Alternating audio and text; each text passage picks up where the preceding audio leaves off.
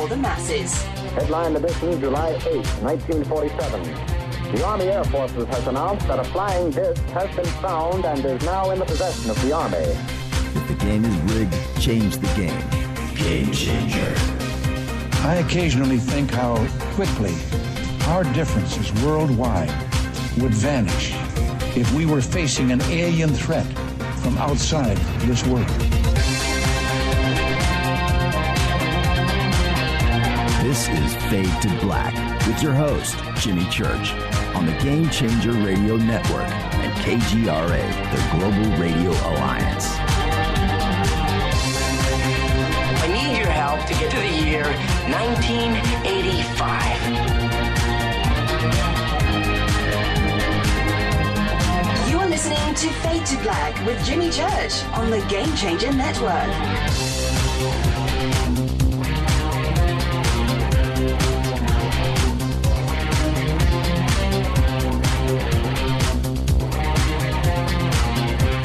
Well, well, well. Hello, kiddies.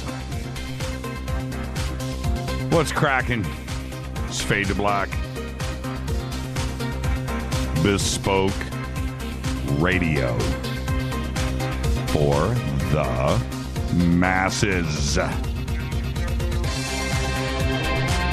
Today's Monday, May 9th.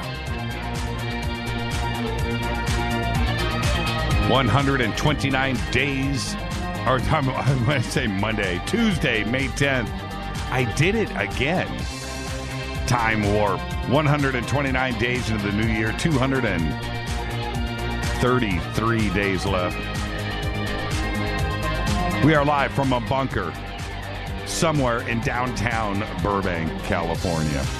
I'd like to welcome everybody listening all around the world, all across the United States hither and thither, to and fro, back and forth, up and down, east and west, north and south, far and near. This is Fade to Black. you know what?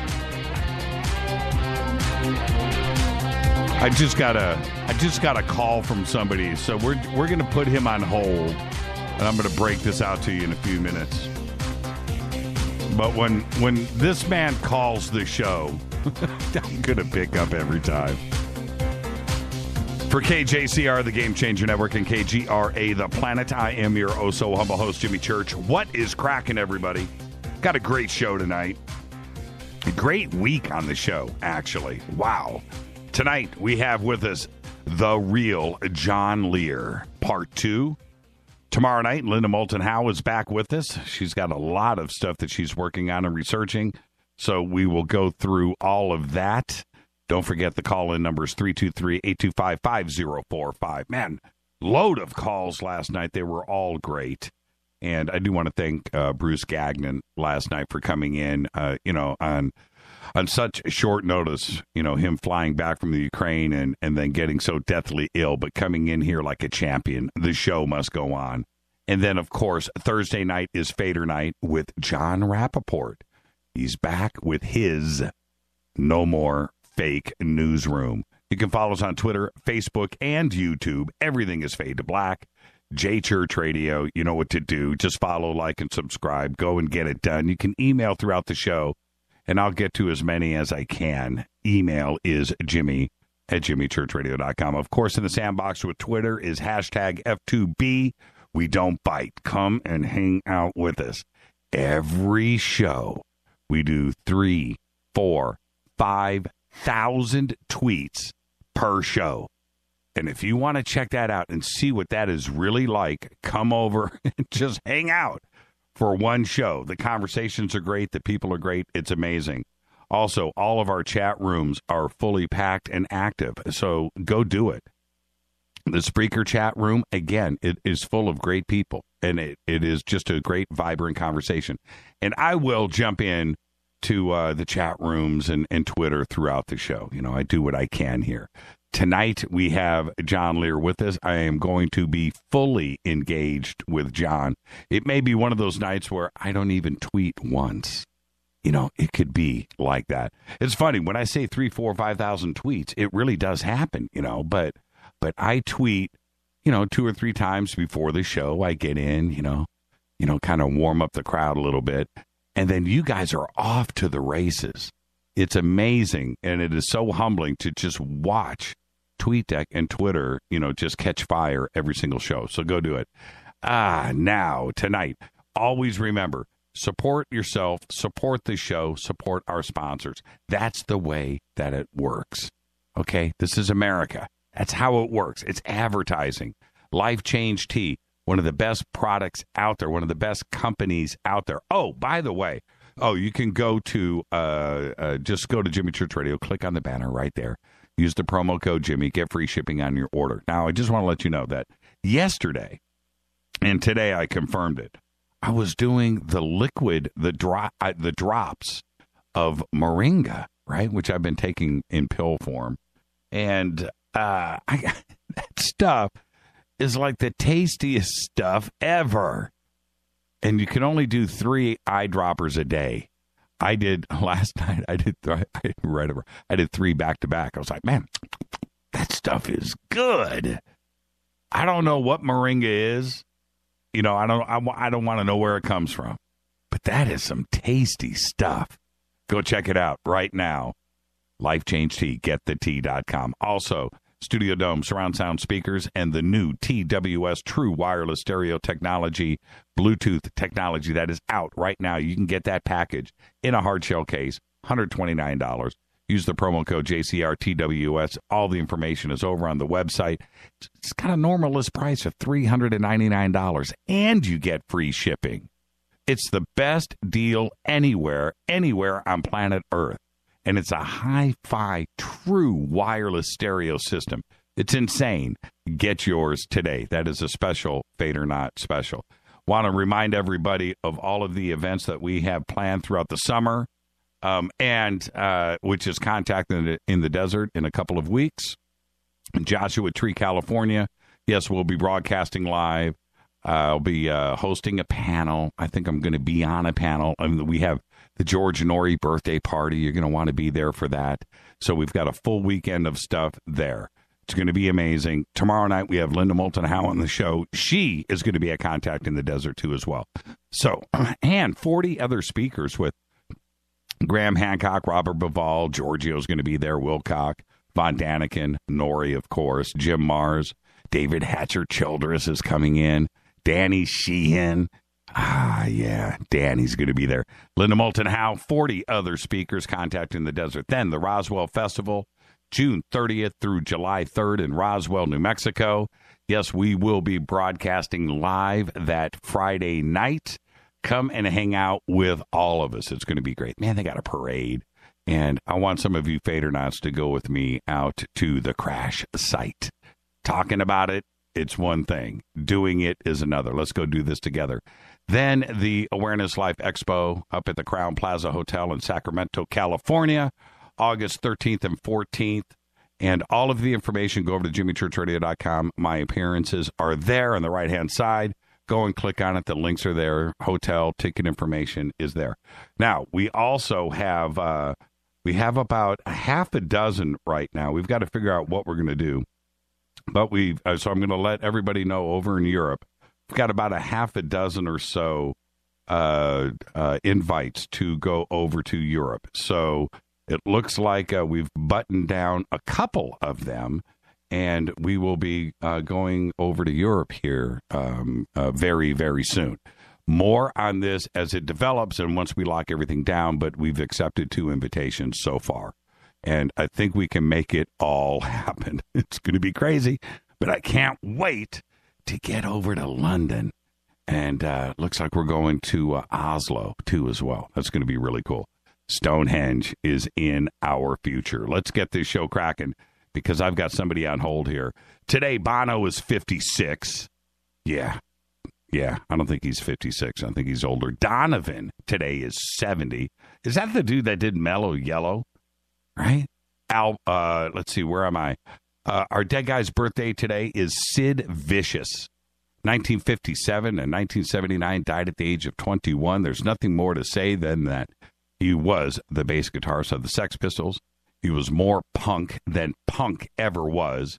He changed the world. and never got a chance to see it. On this day in history in 1877, President Rutherford B. Hayes has the White House first telephone installed. Yeah. And the president or anyone else at that time didn't get any phone calls. In fact, the Treasury Department possessed the only other phone line to the White House at that time. 1877. It doesn't seem like, but I guess they did. They had phones in 1877. Fader fact the script for the movie Back to the Future was rejected by over 40 times by every major studio in Hollywood and by some more than once. And that kind of reminds me of uh, what happened with Van Halen. If if you recall, Van Halen was literally rejected by every uh, uh, uh record company here in LA and they kept going back, saying no, saying no, saying no. All of those A and R guys that turned down Van Halen are still unemployed. All right, I want to go to the phones because waiting is the one and only Mr. Lee Spiegel. Lee Spiegel, what's cracking, brother? Well, Mr. Church, how are you tonight? I, I am doing good, Lee, and it's funny that you called. Oh yeah, why? It's, it's real funny because I was reading a piece of yours on the Huffington Post. Okay. And it was called Ex NASA astronaut Tom Jones used to be a big UFO fan, not now. Right?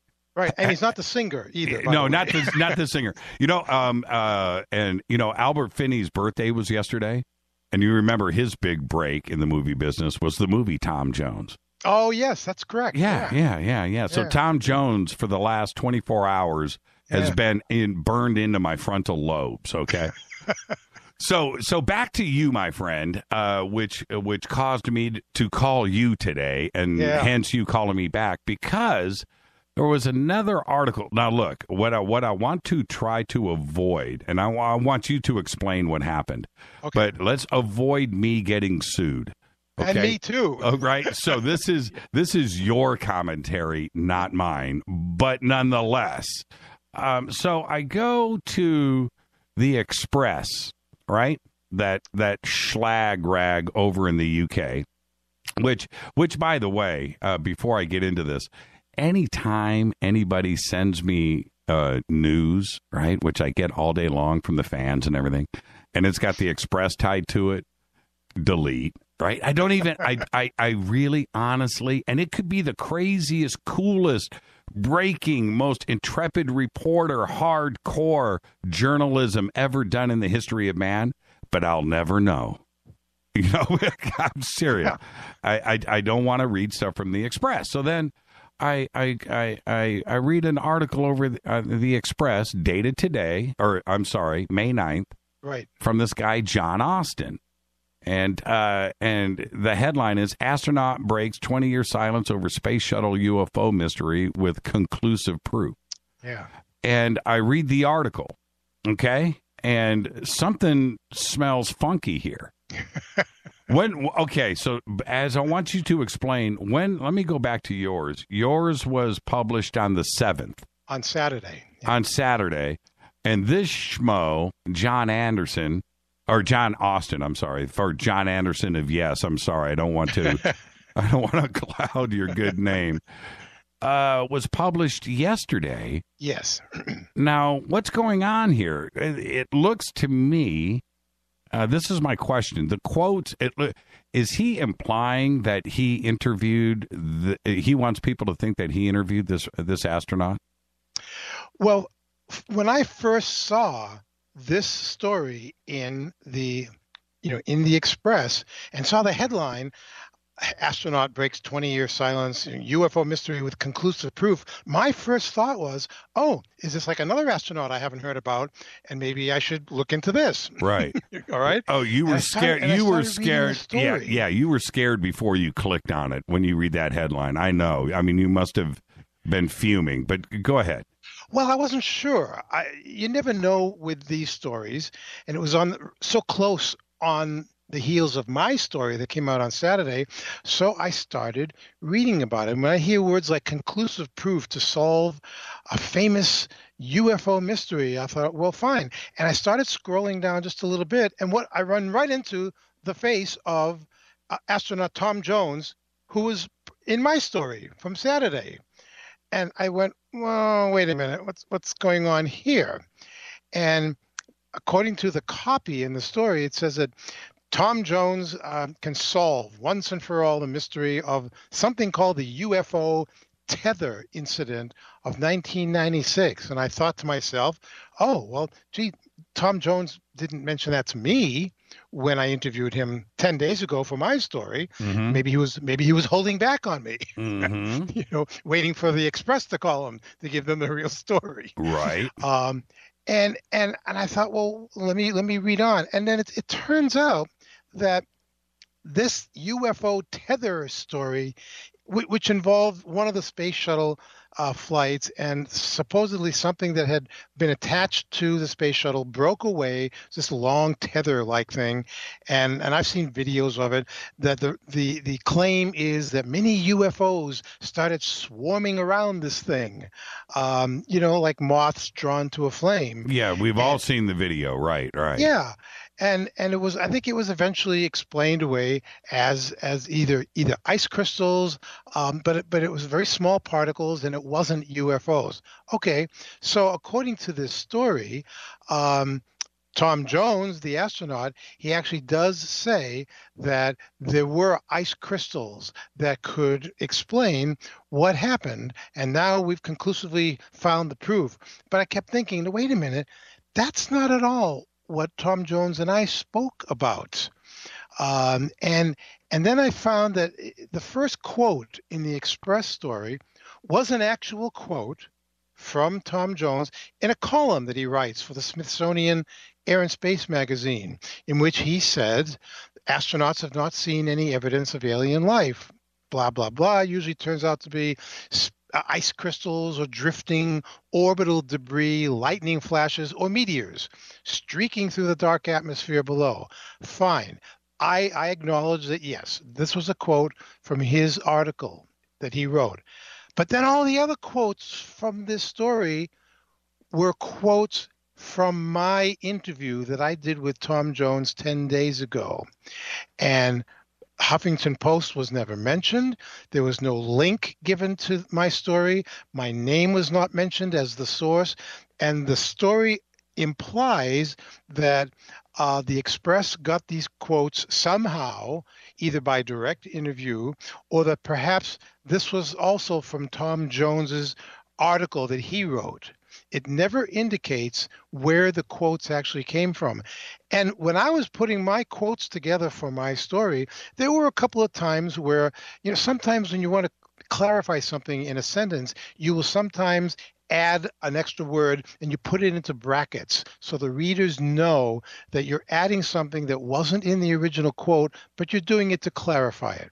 So I did that a couple of times, and and wouldn't you know it, the exact quotes appeared in this express story with the little corrections that I had made with the brackets. And I'm thinking, how would how could they get away with this? How could they know that that I didn't do this thing with the brackets and the clarification. Well, they didn't know, or they did know, but they didn't care. They they put this story out there and basically have said, um, "This is our story, and we're putting it out there." And i- i- you know, th- there's nothing worse in the field of journalism than lifting or borrowing someone else's material um, from a journalistic colleague and not acknowledging where you got your information right or, or where you got your information from. But, but the thing was, I sent my version of the story and the express version of the story to Tom Jones, the astronaut. And I said, What do you think of this if you compare the two stories? And he was upset. Yeah, you know, it's it's journalism 101. You know, you always give credit and that's it. You know, if it's not yours, you give credit and and and that is what you are taught. That's it. And and you don't uh, if you're going to do something like that and put your byline at the top Right. and take credit for everything, man, you better you better be able to back it up. That's all. And and I, I mean, I I couldn't believe it when I read the two stories uh, side by side and uh, it's uh, it's flagrant. So, Well, well, and, uh, and you know the other thing, Jimmy, is not only do you acknowledge where you got your quotes from in the original story, but you, you, you don't take it another step further and fabricate something about the story that never was true in the first place. That's right. The fact that Tom Jones is now giving us conclusive proof of what happened with this UFO tether. Are you kidding me? that's right. Eh, yeah. You can't make that crap up. You're not allowed to if you're a journalist. well, amazing, we just we we all know about the integrity of Lee Spiegel, and I, you know, and and again, just thank you for this. And I I, I just don't. It, it it is just one of those another examples of the internet on what to trust and what not to trust. But I learned my lesson with you know that website a while ago, and this just just leaves a bad taste in my mouth because we're all in this together you know? And and our integrity is is what needs to remain in place. And when stuff like this happens it just allows everybody else to go you know what? It it's it's it's all just crap And, Eh, and this is also the reason why media gets gets a raw deal and always gets criticized because you know who the losers are in this? It's the audience. Yep, it's the It- readers. It's the readers. It's your listeners. Uh, it's the people who look to people like you and me to give them really good, interesting, credible information. And if they read something that's been fabricated somewhere else, they don't know the difference. They don't know what's true or not, what's reliable, and that's a big problem with all of this. Lee, I want I want to thank you for coming on, and Thank you, Jimmy. Uh, we, we've Thank got you. other stuff that you and I are working on, and and you'll be on with us very soon in the near future. But again, I want to thank you for all that you do. Thank you, Lee. Thank you, Jimmy. Lee Spiegel, everybody. And again, don't even go and check it out and verify. This is some don't don't give them any clicks. It is just uh, unbelievable. Uh, thank you, Lee. And of course, Weird News, Lee Spiegel, Huffington Post. Go and get your read on. I want to uh, jump forward really quick before we run out of time. Today, NASA made a, a, an historic announcement about 1,200 new planets that could now hold life and the chance of alien life being found. Now, the new number is 2,325 planets. Okay, they discovered 1,284 new planets. And the gist of it, and I'm going to cut to the chase, is that NASA is now saying that they believe every star in space has a planet orbiting it. Every star in space, further increasing the chance of life out there. And it is an extraordinary uh, report and story that was released today. And then over on Facebook, about 21 hours ago, this post happened over in the Fadernaut family. I believe that's where it was. And the post read, okay, this freaked me out a bit. Watching the TV and a recruitment ad came on, and dad is talking about his daughter joining up. And in the background is a newspaper frame saying that aliens were defeated. At the end of it, the ad said, join the ESD, the Earth Space Defense. I was like, you know, what the blank? and it came across as an uh, actual recruitment ad. Now, this is let's let's go to this. The link is official. It's www.goarmy.com. Join ESD, right? That's where it is.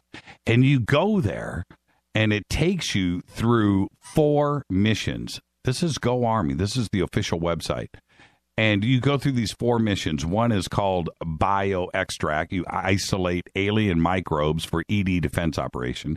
Your second mission is Code Break. Decode encrypted alien transmission to, uh, transmissions to expose enemy warfare strategy.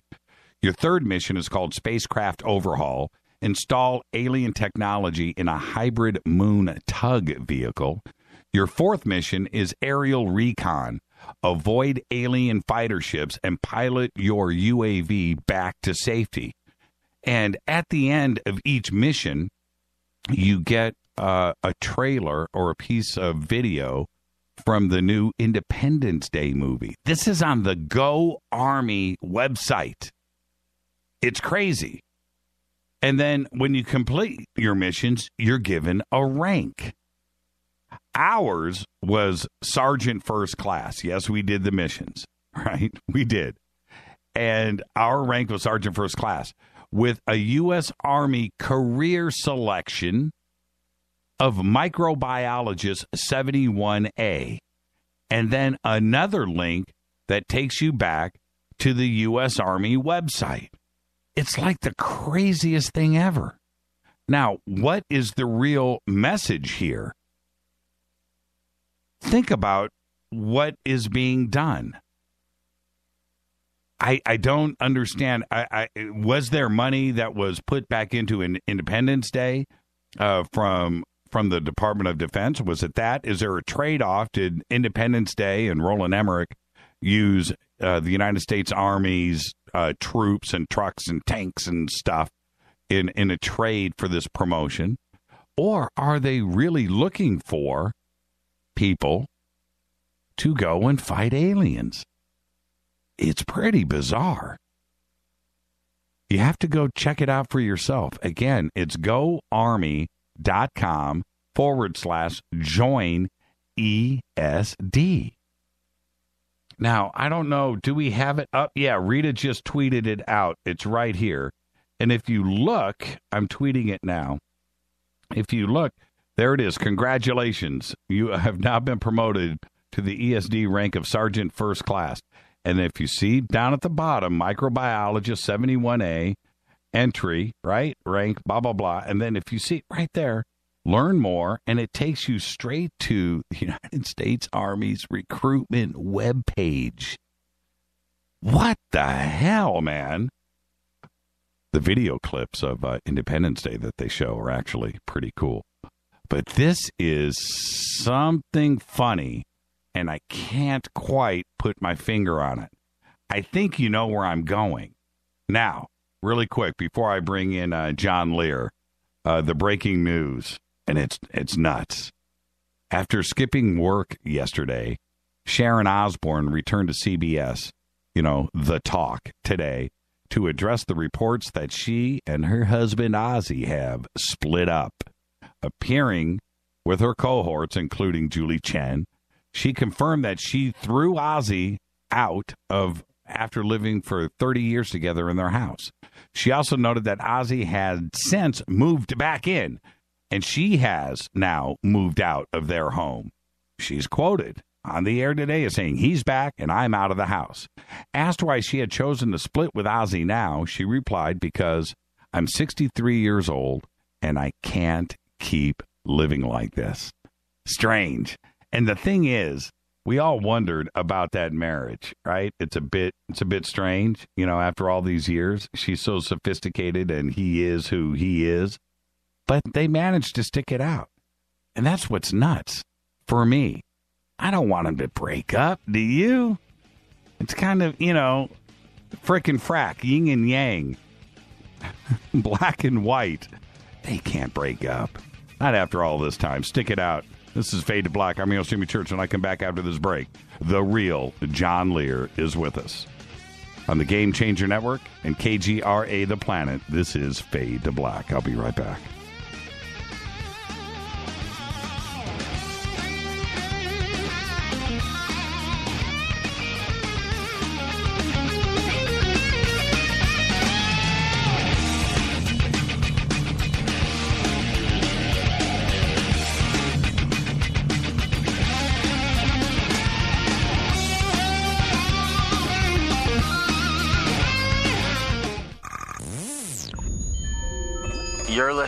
Jimmy Church Fade to Black.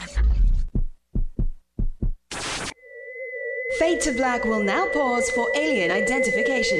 The station that talks the net. KGRA Radio. What's up, revolutionaries? It's me, Jimmy Church. Do you have an IRS or state tax issue? Well, I did, and I called national tax experts. My problems were fixed, done, fini, and man, I got to tell you, it was a relief.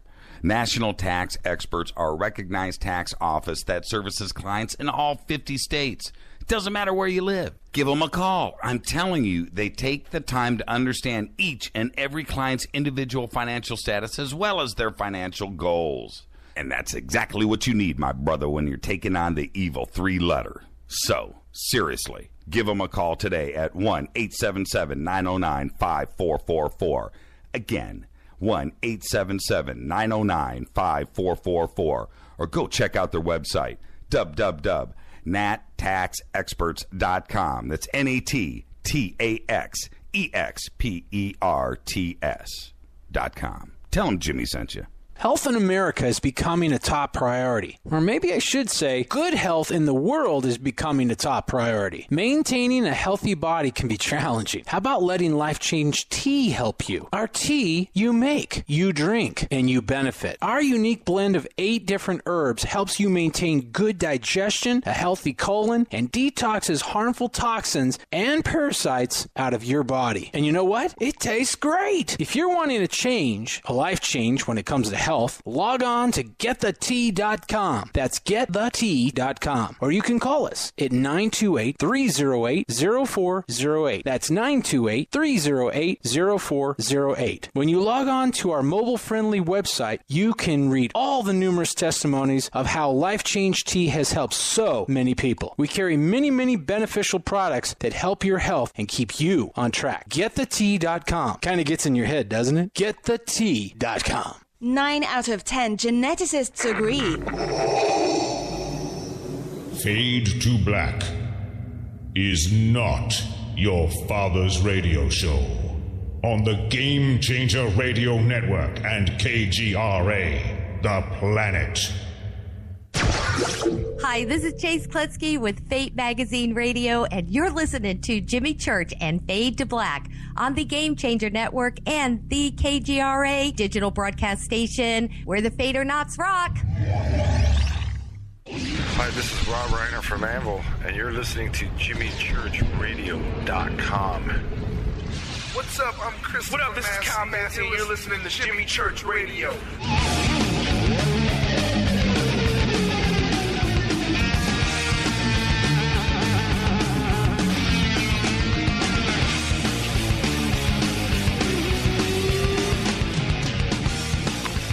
All right, everybody, welcome back. Fade to Black. I'm your oh also humble host, Jimmy Church, and tonight we have back with us John Lear for part two. We're going to pick up where we left off last week.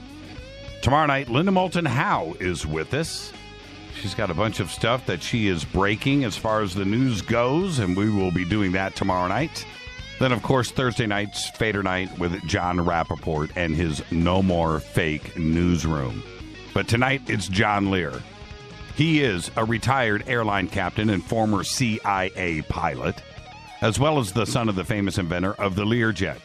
He is a former Lockheed L 1011 captain and is highly regarded in aviation circles. He has flown over 150 aircraft. He has earned every certificate granted by the Federal Aviation Administration.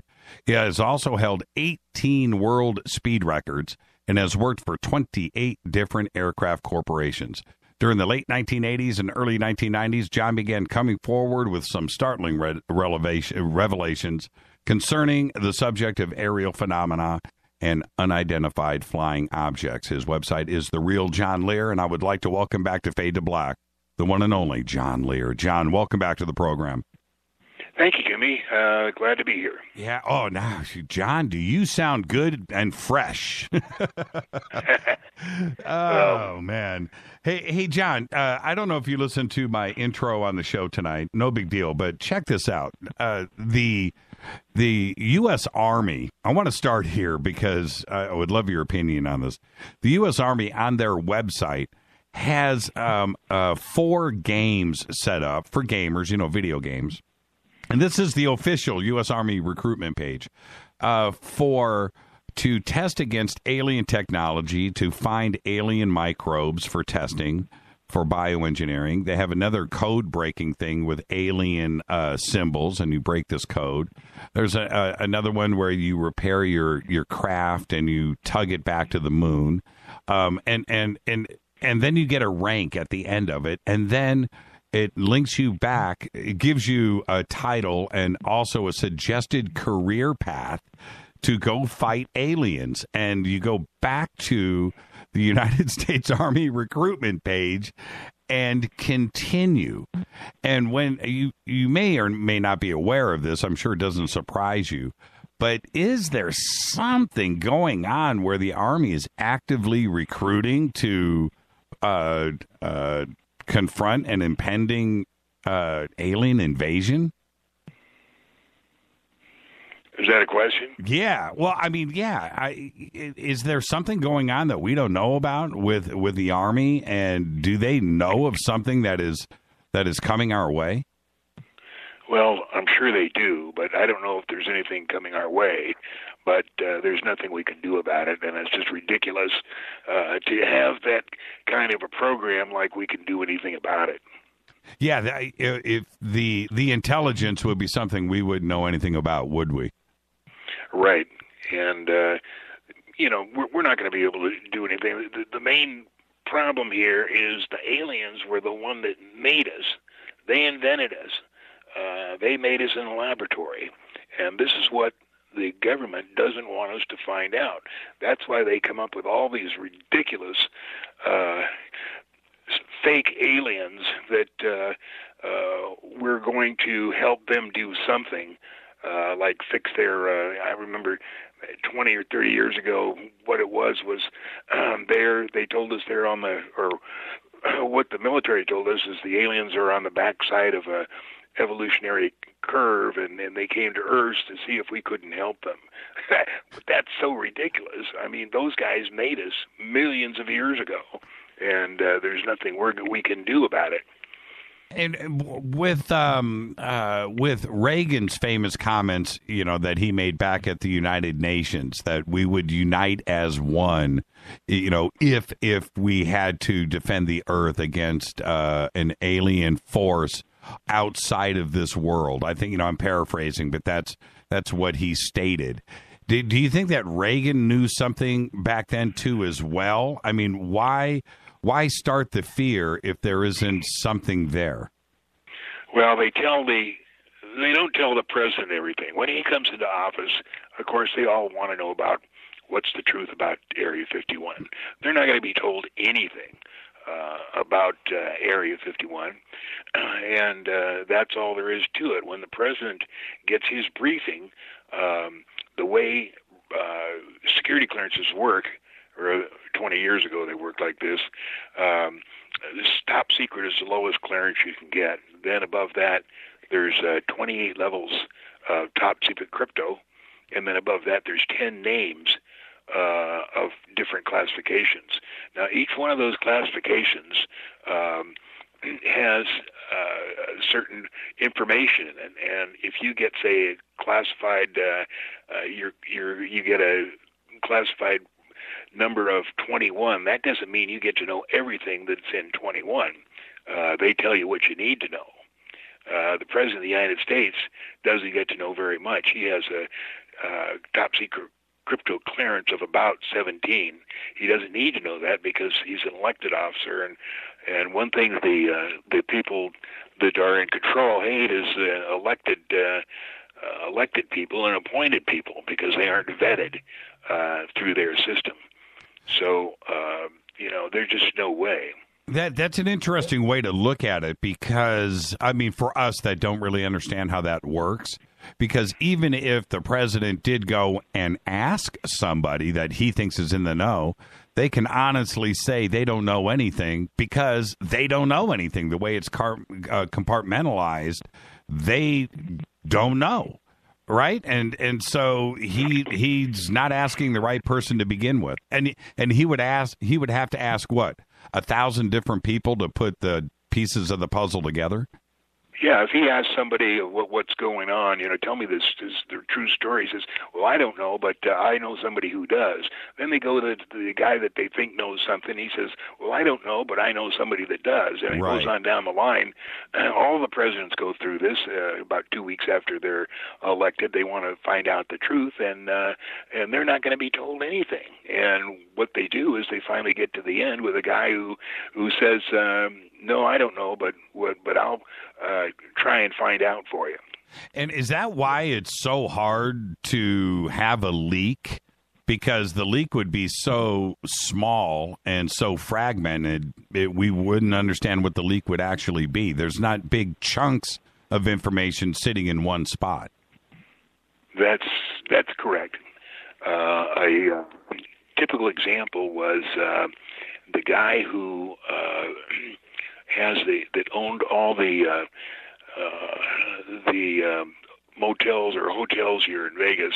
Trying to think of his name, and he ended up uh, doing uh, the Space Hotel. Do you remember his name? Yeah, Bigelow. Bigelow. Yeah. And uh, Bigelow, uh, when Bob uh, Lazar first came out, uh, was so interested in it that he wanted to uh, uh, get into it. So he uh, financed Bob. They formed a company that was called, um, let's see, it was called. Uh, I'm trying to remember the name, but anyway, he put up some money. Bob bought some computers. They rented a a uh, office laboratory and Bob Bigelow thought that uh, you know he'd be able to pop in any time and see this scientist, super intelligent scientist, working on uh, space projects. But Bob's view of it was he's going to try and use all the equipment there for projects of his own, and he was never in this his office. So uh, they started to uh, uh, get uh, uh, started to um, uh, bring this thing to a close, and that's when the uh, military uh, stepped in and they said, uh, "Well, we'd like to help you." And uh, so he said, "Okay, well, you know, I want to find out more about this UFO stuff." And the military said, "Well, you know, we don't know too much about that, but." We do have several programs where we need a man like yourself who can finance them and uh, we'd like to get you in there. We can give you all the clearances you need. And what they did was gently, gently uh, turn the direction of his uh, of his thoughts to instead of aliens to making more money on the space program, which is what happened. Yeah, that was the end so, of that was the end of uh, Bigelow and his UFO research. Right. Uh, what what you know, John, for the audience, and they would love to know what what drives you you know, what drives you to continue this pursuit of truth? The fact that uh, so many things are absolute lies. Uh, that each each thing that I find out, that's just another lie. It uh, you know started out with I'm trying to remember the the first big thing that uh, uh, that happened. Uh, let's see, TWA 800 wasn't the first thing, but that was certainly a lie. Right. And uh, that was shot down by a accidentally by a U.S. Navy submarine, and that was the fifth uh, passenger airliner that was shot down by the Navy accidentally. The uh, first one uh, was a uh, Lockheed Constellation in 1963, shot down uh, over Guam in the Pacific, and uh, it was just a training mission and something happened to the uh, the uh, bomb or the uh, machine gun release that it went off when it wasn't supposed to, and they uh, they killed all. I think there was a hundred or so servicemen that were killed in that, and they've kept it secret ever since then. It's just saying we don't know what happened. But I was with Flying Tigers at the time.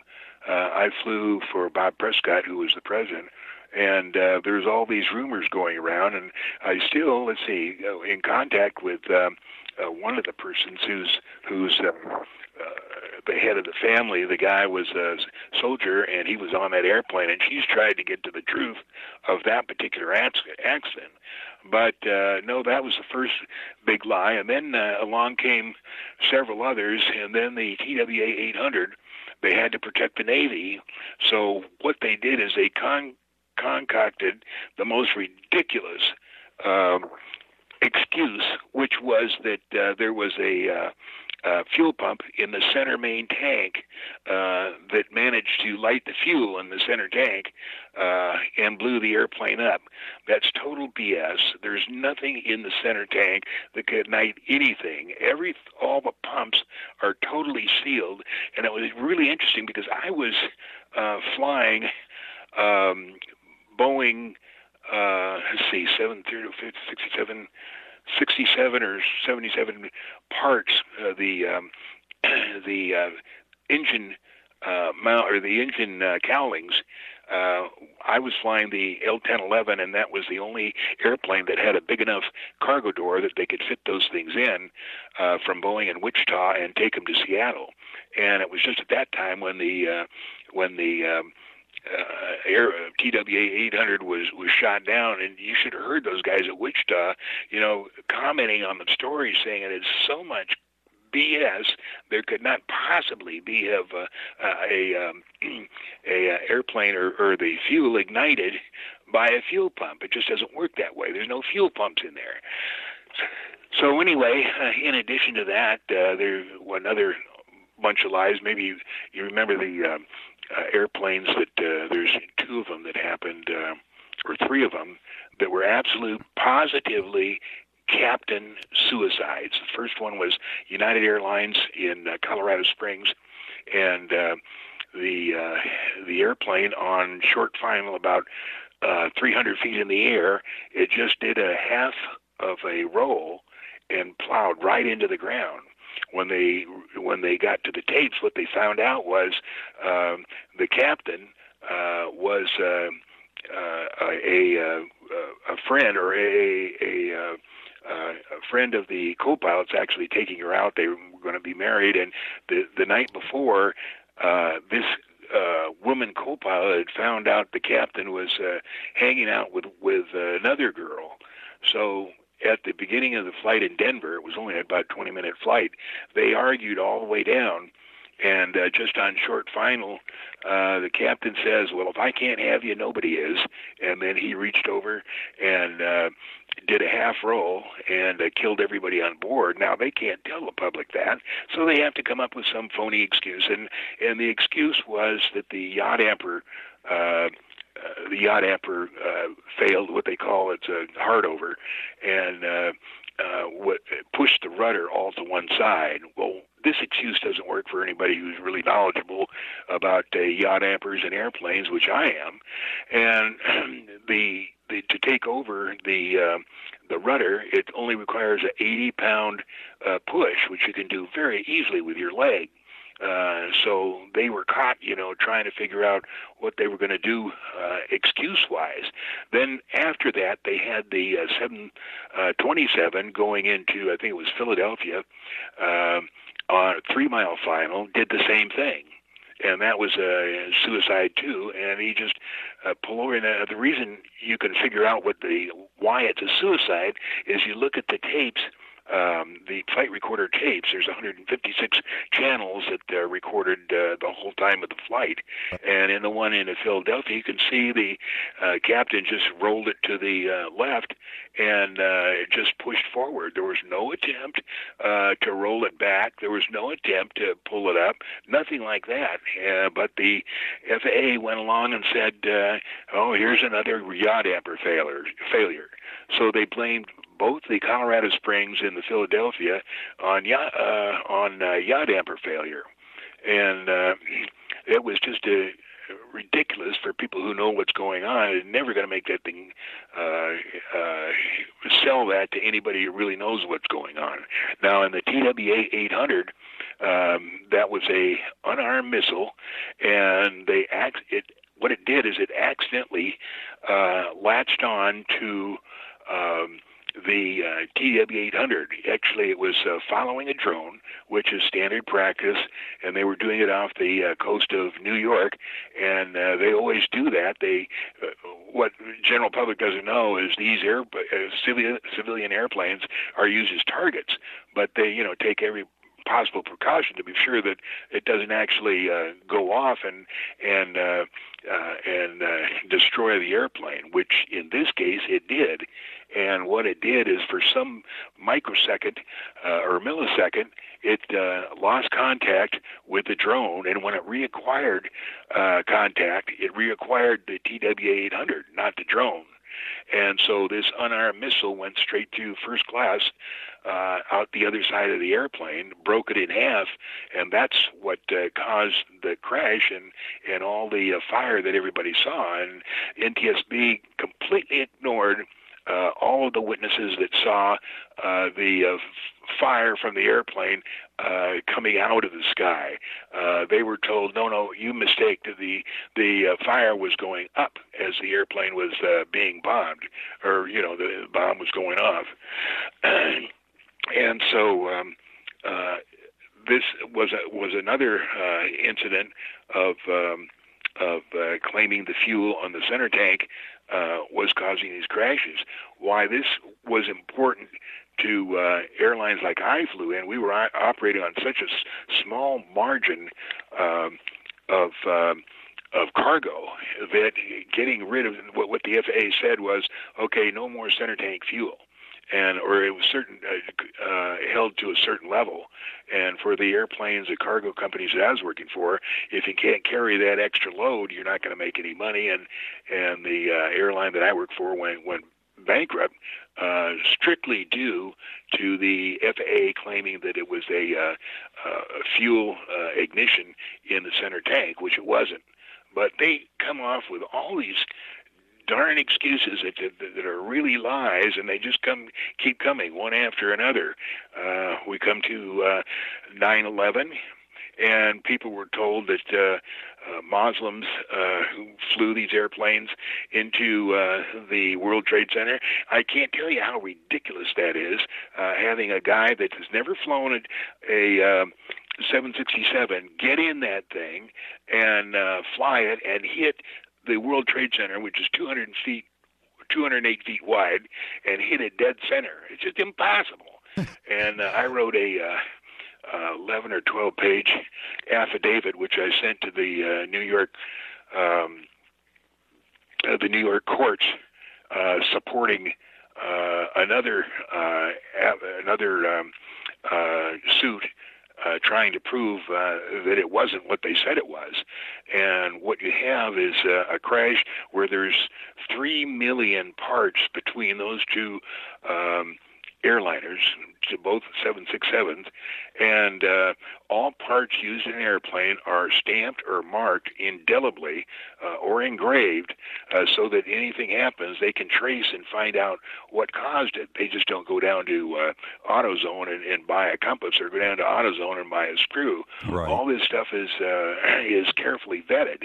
And uh, what happened in the 9/11, there was out of three million parts, there wasn't one single part ever found uh, to that belong to either of those 767s, and yet there's still people that believe those airplanes flew into the uh, flew into the World Trade Center. It just did not happen. It could not happen. And then the um, well, let me let me let me ask you this, John. You're the professional. I'm not. Um, I have Microsoft, uh, whatever, right? The uh, the airplane program. Uh, if if if if somebody went and trained on one of those trainers like Microsoft or whatever, uh, and and and took a couple of classes, right, flying a, a, a Cessna around or whatever. How how possible is it for somebody to sit in a cockpit, even by chance, to fly in to guide the plane. How complicated is that cockpit in a real sense? It's one thing on a flight simulator, and it's another thing in a Cessna. It's a whole other thing in a 767. I realize that. I mean, is it is it even remotely possible that it could somebody could do it? not even remotely possible. And there's been several experiments uh, with uh, people who are uh, currently flying uh, the 767 or were then uh, 20 years ago when this happened, uh, and they have taken either themselves or um, or reporters and taken them up and said, "Okay, now here, here's the airplane. We're at 8,000 feet. There's the building. Try and hit it." And of course, they don't even come close, and neither do the captains who are currently flying the airplane right. even come close to hitting the center of a 208 foot target. It's impossible.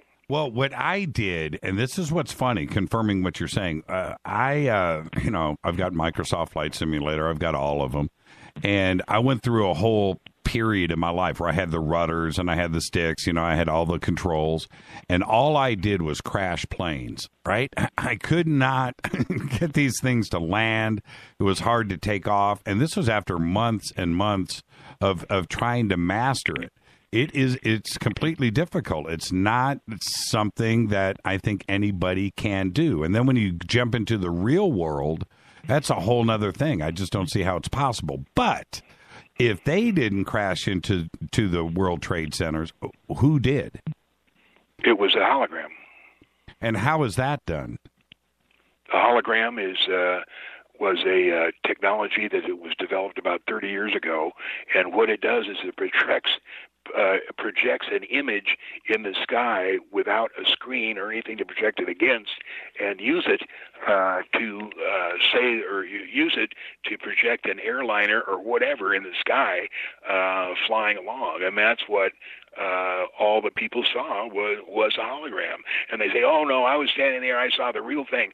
But it's not possible, and the people that uh, say that aren't familiar with the technology or how far ahead we are in uh, in technology of that sort. Now, Japan is coming along with it, um, uh, with with the holograph, but remember, the Air Forces or the uh, uh, the military has had a 30 uh, year head start on this, and they were able to uh, project this stuff.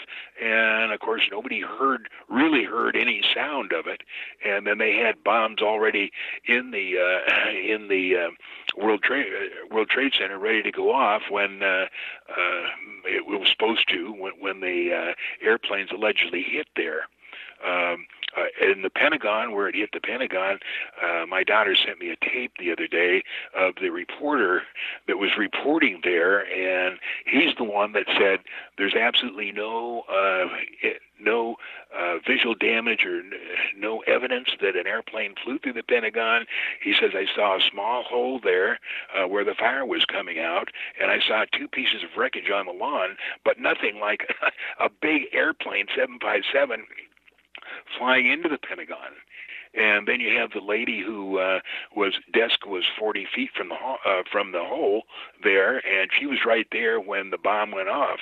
And uh, she just happened to have her six-month-old son in his car seat uh, below her desk uh, when all when all the fire went off and the smoke and everything cleared. She grabbed him and and stepped through the hole that the bomb made.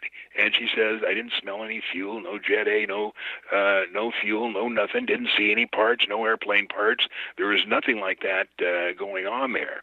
And the Army is uh, really given her a bad time for the last how many years it's been uh, to keep her mouth shut and uh, she's had a, a real problem with that. But you know, so many people um, believe this this this ridiculous story, and then the one at Shanksville uh, was supposed to be an airplane that uh, they actually made a movie out of, and the airplane crashed. There's no airplane crash.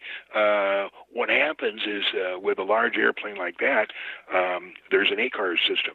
The ACARS is a unit in the cockpit that records everything that's going on in the airplane and sends it immediately to the company and Boeing or whoever made the airplane so they can keep track of what's going on.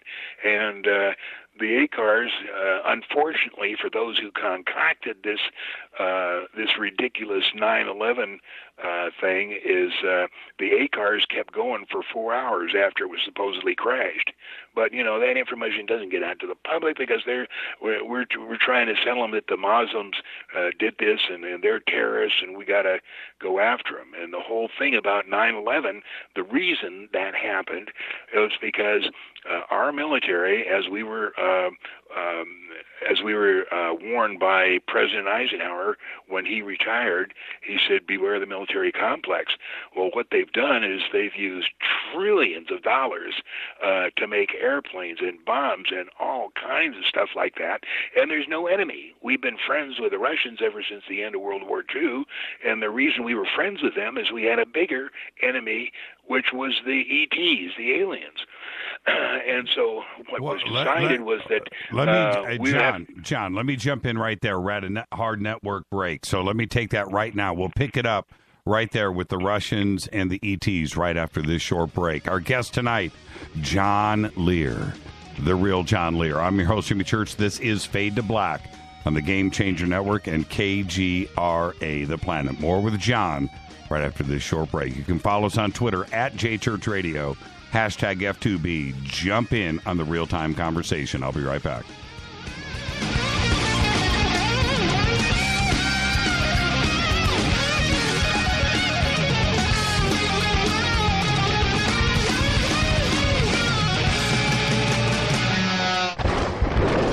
This is Fade to Black with Jimmy Church on the Game Changer Radio Network and KGRA, the Global Radio Alliance. The station that talks the net. KGRA Radio. Hello, I'm Katie and you're listening to my main man, Jimmy Church, on jimmychurchradio.com. Hi, this is Ray Hobbs here, repping the planet, and you're listening to my good friend, Jimmy Church, Fade to Black, on the Game Changer Network and the KGRA Digital Broadcast Station. What would your life be like if you woke up each morning with new vitality, feeling better than you have in years, and you noticed a difference in your sleeping patterns, blood sugar levels, and had a sense of well being overall? There's something that is changing thousands of people's lives, and you could be one of them. It's called Heart and Body Extract. Sharon Harris, co creator of Heart and Body Extract, talks about the positive effects of this product. What happens with the formula Heart and Body Extract is it's giving the body the necessary vitamins, minerals, amino acids, enzymes, and phytonutrients so the body will heal itself. And yes, the body does have the ability to balance blood pressure, balance cholesterol, clean and unclog the arteries. It can also work on balancing the circulation for diabetics. So the body is an amazing thing. It simply needs some help so it has the tools to heal itself. To order your two month supply, call now toll free 866 295 5305. Order online at hbextract.com. Imagine no longer being tied down to your computer, but having the freedom to take live talk radio with you anywhere you go. TalkStream Live introduces our first ever iPhone application. The talk shows you follow now follow you. And your iPhone is now the fastest and easiest way to stay connected to the best talk radio on the internet. Let TalkStream Live transform the way you listen to radio. Listen to live talk shows 24 hours a day, 7 days a week. Mobile talk radio from TalkStream Live. Now available in the iTunes App Store. This is Toby Kebbell. You're listening to JimmyChurchRadio.com. Don't hurt me, Jimmy. I'm only little. Hey, I'm Adrian Grenier. And this is Ari Gold. We're the Honey Brothers. Well, the, Just, We're of the Honey Brothers. Hey, I'm Adrian Grenier. And I'm Ari Gold. We're the Honey Brothers. And you're listening to Jimmy Church. The Revolution. What's up, Fadernauts? Studio Dome loves Fade to Black and the F2B audience so much that they have put together the ultimate stereo Bluetooth system. They've done it just for you. Man, check this out. The Studio Dome SBB2 stereo system is here. It's featuring two Studio Boombox 2 SBB2 wireless Bluetooth speakers, packed in its own custom hardshell case. This Studio Dome system features the very latest in stereo Bluetooth technology. The two full range boomboxes are in true wireless stereo. You've got to hear this. It's amazing. It's just 129 bucks and use the promo code JCRTWS and you'll also get free shipping. It's simple. Just go to jimmychurchradio.com, click on the Studio Dome banner. Go Beckley Teppy. This is Micah Hanks of the Gralien Report, and you're listening to Jimmy Church on Fade to Black across the globe on the Game Changer Radio Network and the one and only KGRA Radio, The Planet.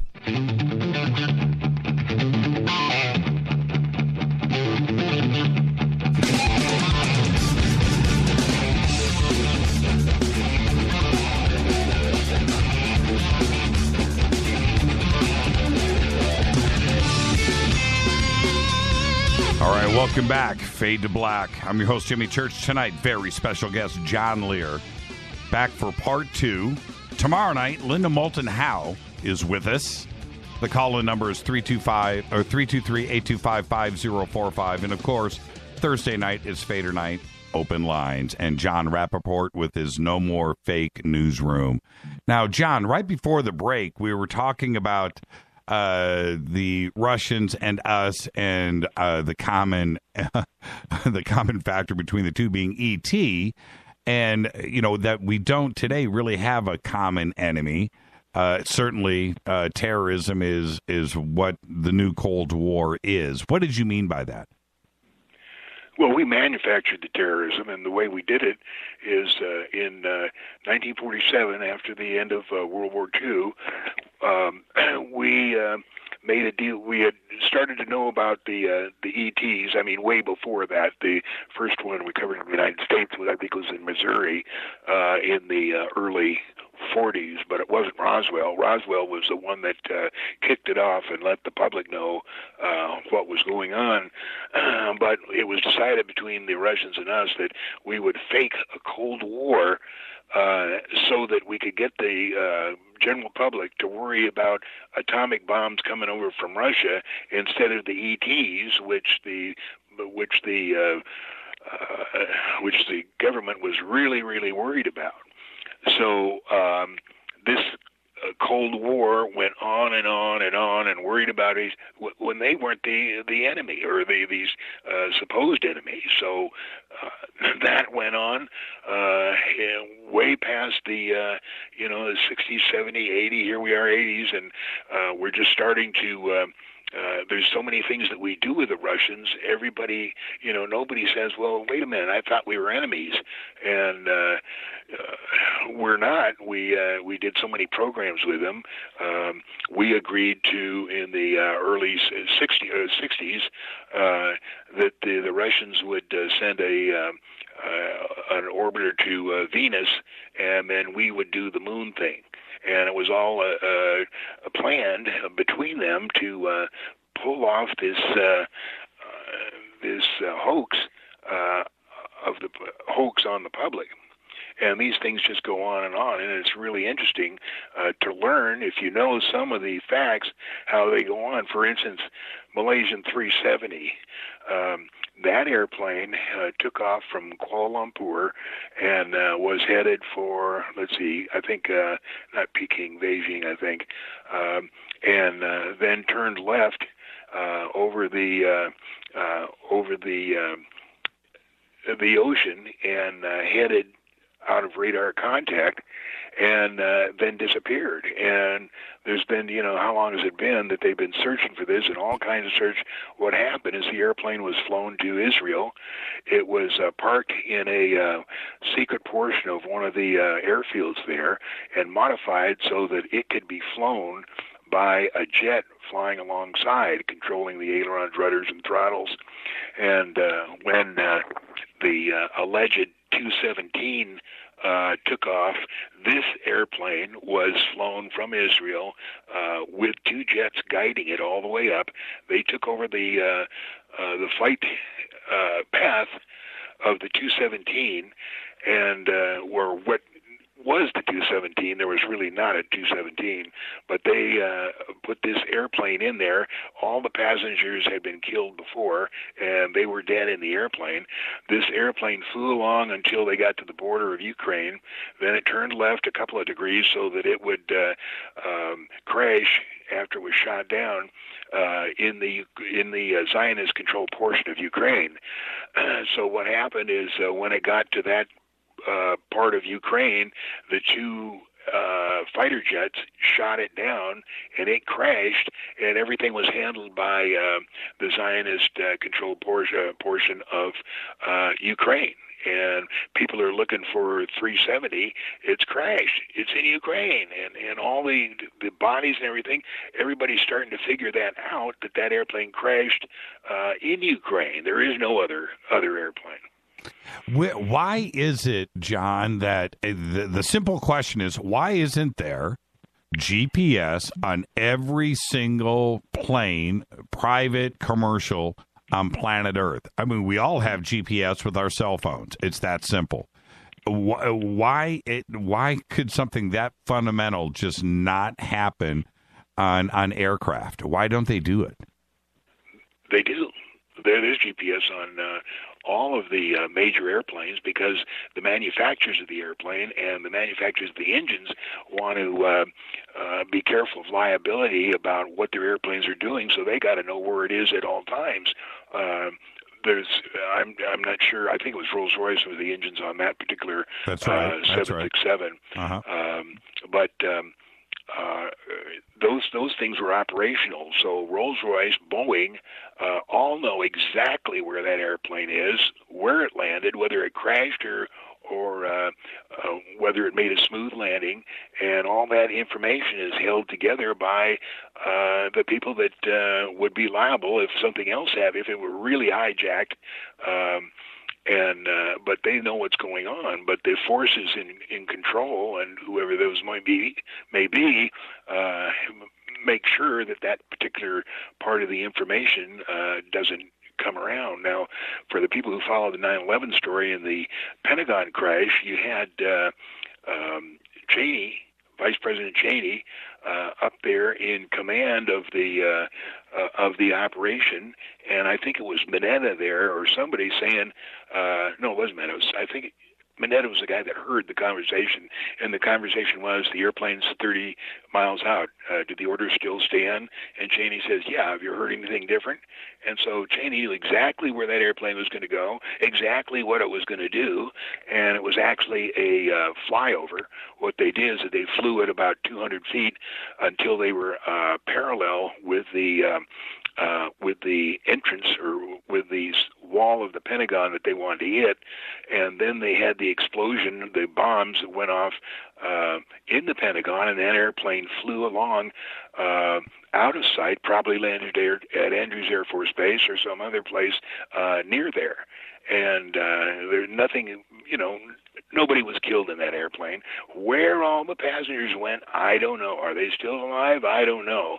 Uh, but they whoever's in control of all this doesn't seem to have uh, too much sympathy for all the families that uh, are uh, related to all the people that are killed. For instance, uh, uh, the uh, uh, the uh, uh,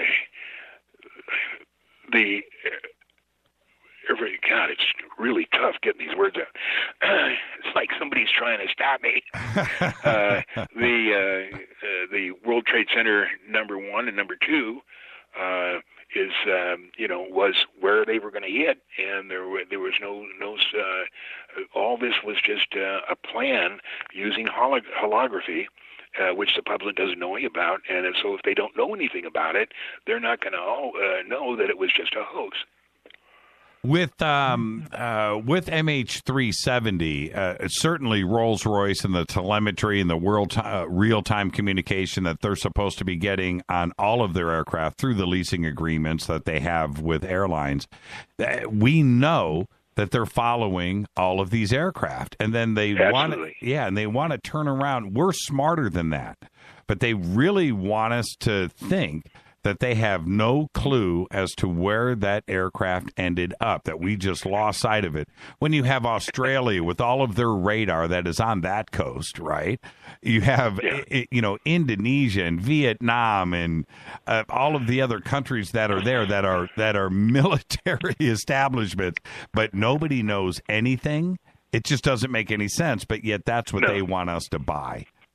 Okay, so what happens is we're trying to figure out why all of this is going on, and it's going on because our military, as we were warned by uh, President Eisenhower, beware the military industrial complex, they built all these new airplanes, the F 22 and the F 35, and uh, newer better bombs and everything. Uh, but if we're friends with the Russians, who are we going to pick on? Well, uh, geez, we're running out of we're running out of enemies. Uh, we're going to have to make enemies ourselves.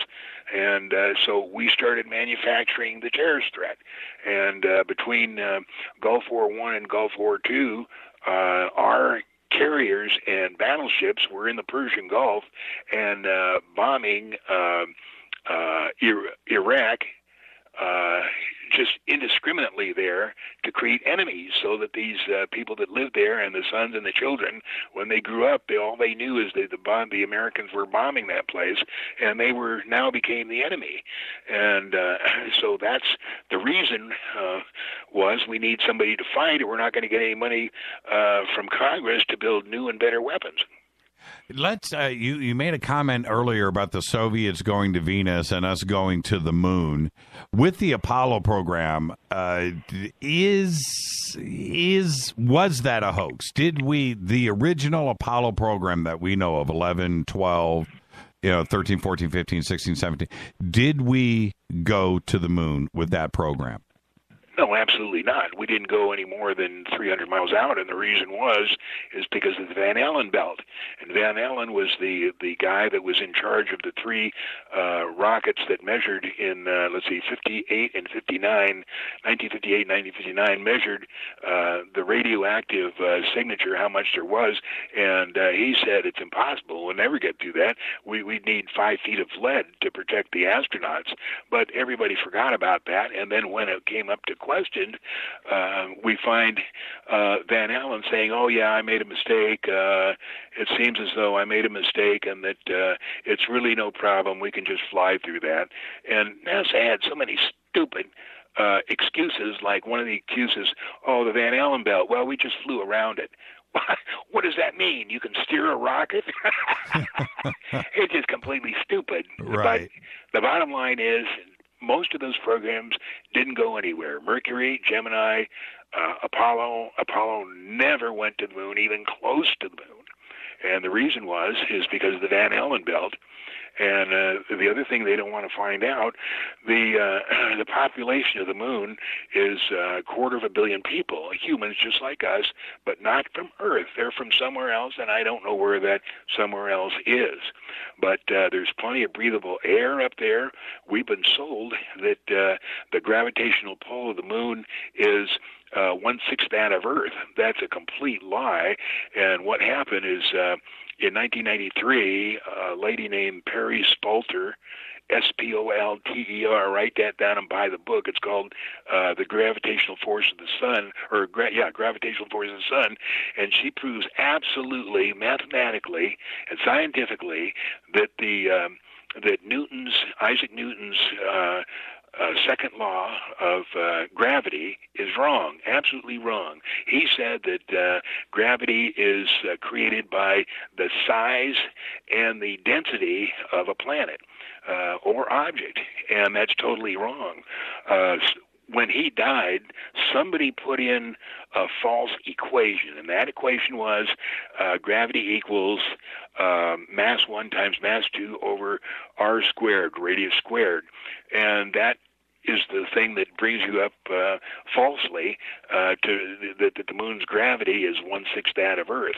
If you use a different and uh, different equation which doesn't use the size or the uh, density of an object, then you find out that the uh, uh, gravitational pull of the moon uh, is uh, 68% that of Earth's.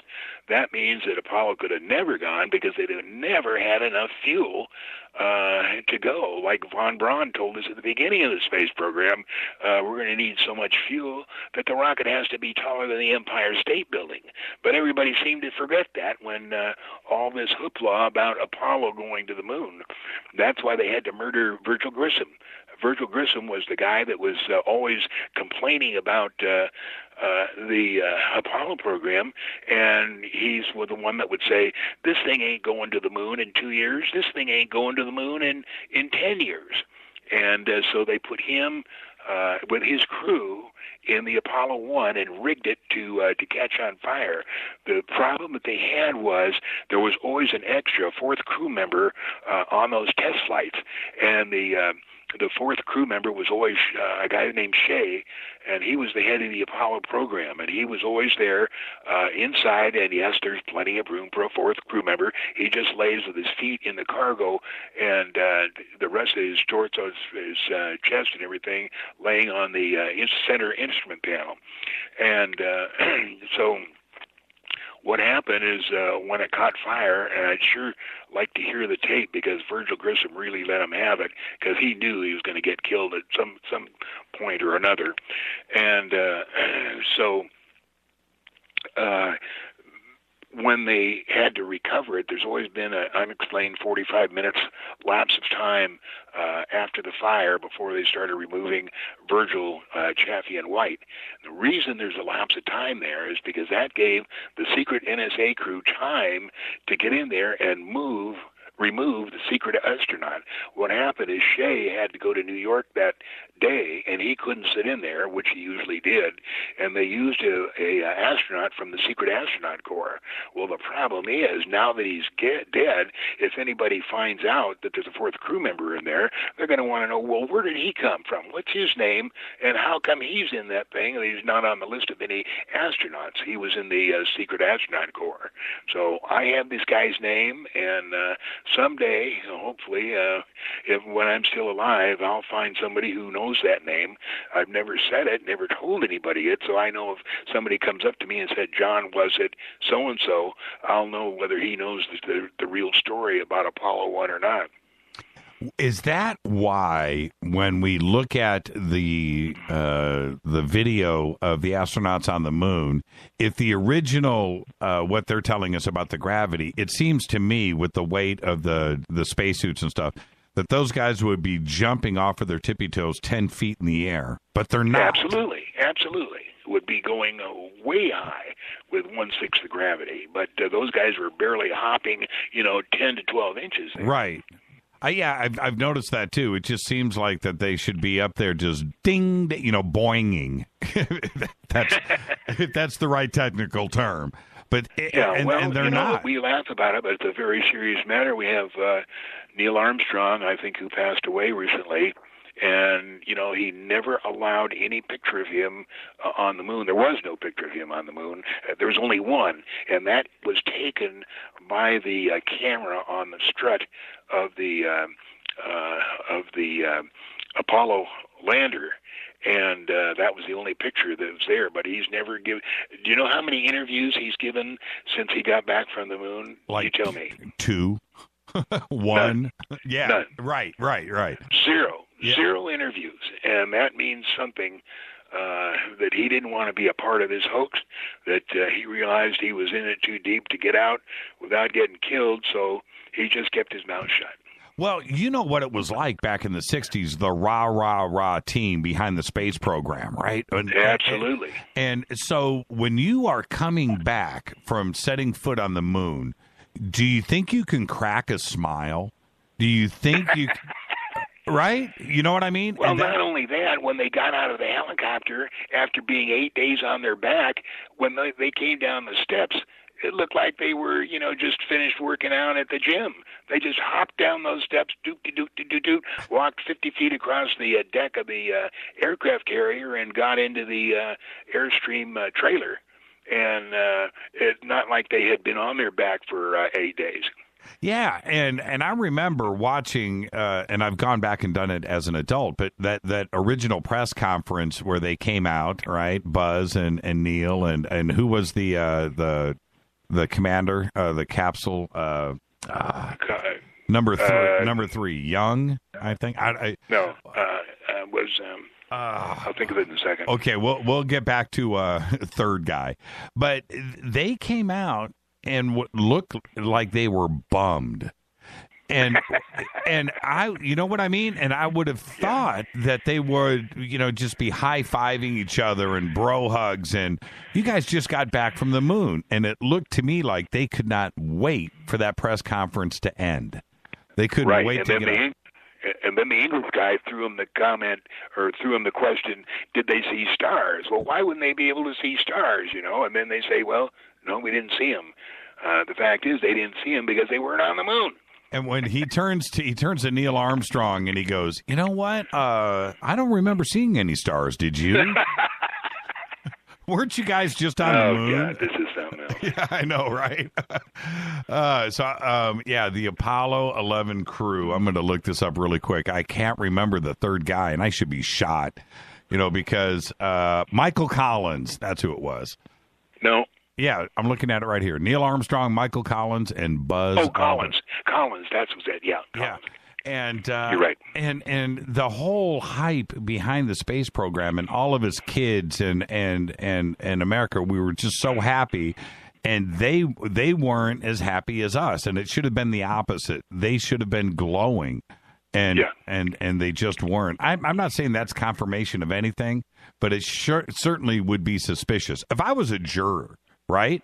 And I'm watching. Uh, if I was a juror, you know, on a Yeah. jury, and I'm watching that activity like that from somebody on the witness stand, I go suspect. You know, I think something's strange. Somebody's not telling me the truth. Yeah.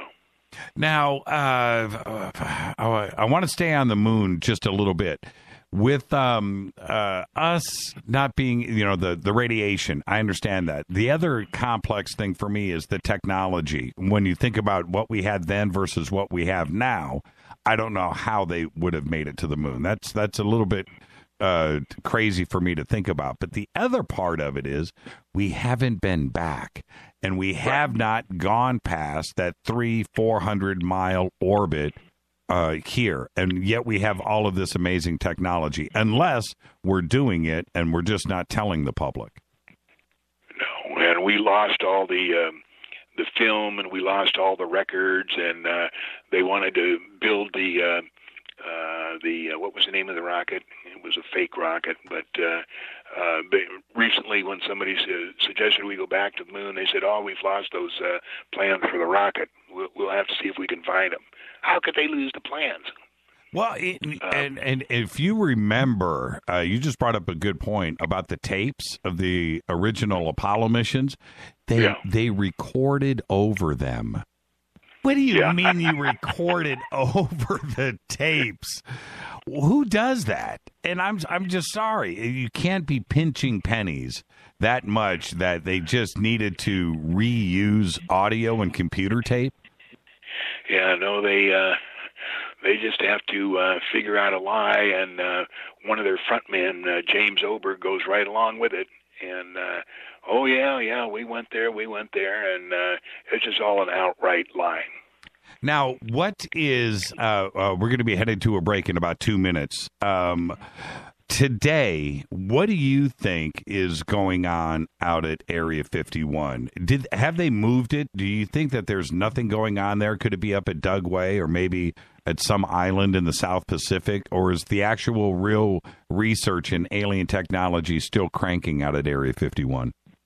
They're still working up there. Their big story was uh, that they were going to move it because they didn't want hordes of people uh, with buses at the uh, uh, on the perimeter there to uh, to interrupt uh, or see what they're doing.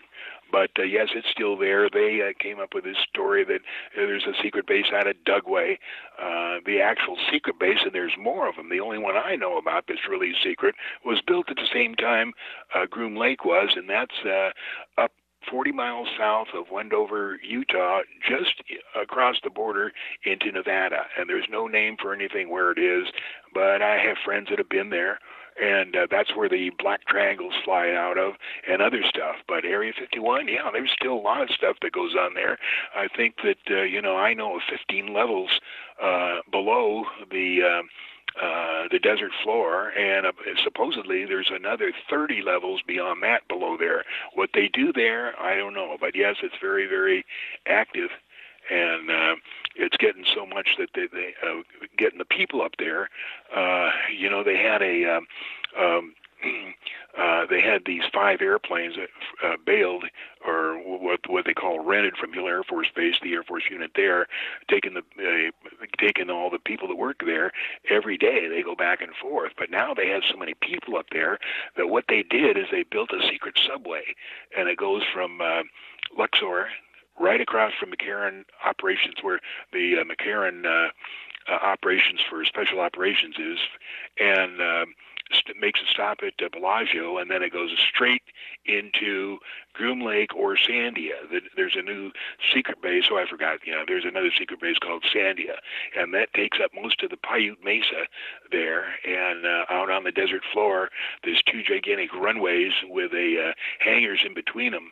And what that was able to do was the people were able to uh, work on different projects and go out the other side of the hangar and fly without the people on the other side knowing what they're doing. They were trying to, you know, uh, i- increase the secrecy.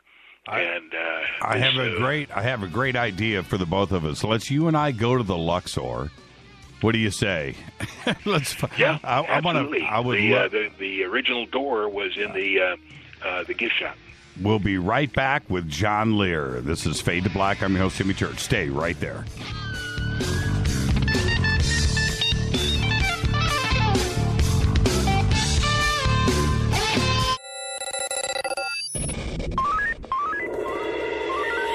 Way out here, we listen to Jimmy Church. You're listening to Fade to Black. Always on the edge of the hottest alternative talk. Jimmy Church with Fade to Black. KGRARadio.com.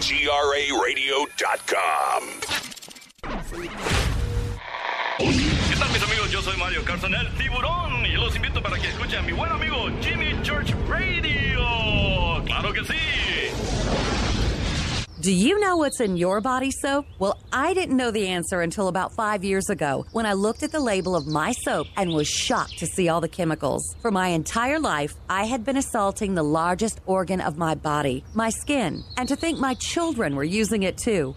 Well, a lot has changed since then. Today, my family and I operate Stone City Farms, where we make and sell all natural goat milk soap using fresh goat milk from goats we raise on our farm. Our mission at Stone City Farm is to produce high quality, all natural goat milk soap for people who want a fresh, unrefined natural product. At Stone City Farms, we offer scented and unscented soaps and a signature line of gift sets customizable to your needs. To see what our customers are saying, go to StoneCityFarm.com. Use the code NATURAL for a 20% discount. That's StoneCityFarm.com, code NATURAL for 20% off your order. You never know what could be hiding in your soap. Did you ever turn to your radio for your favorite talk show to find that it's been preempted for this? In the air to deep right center. That goes Lewis to the wall,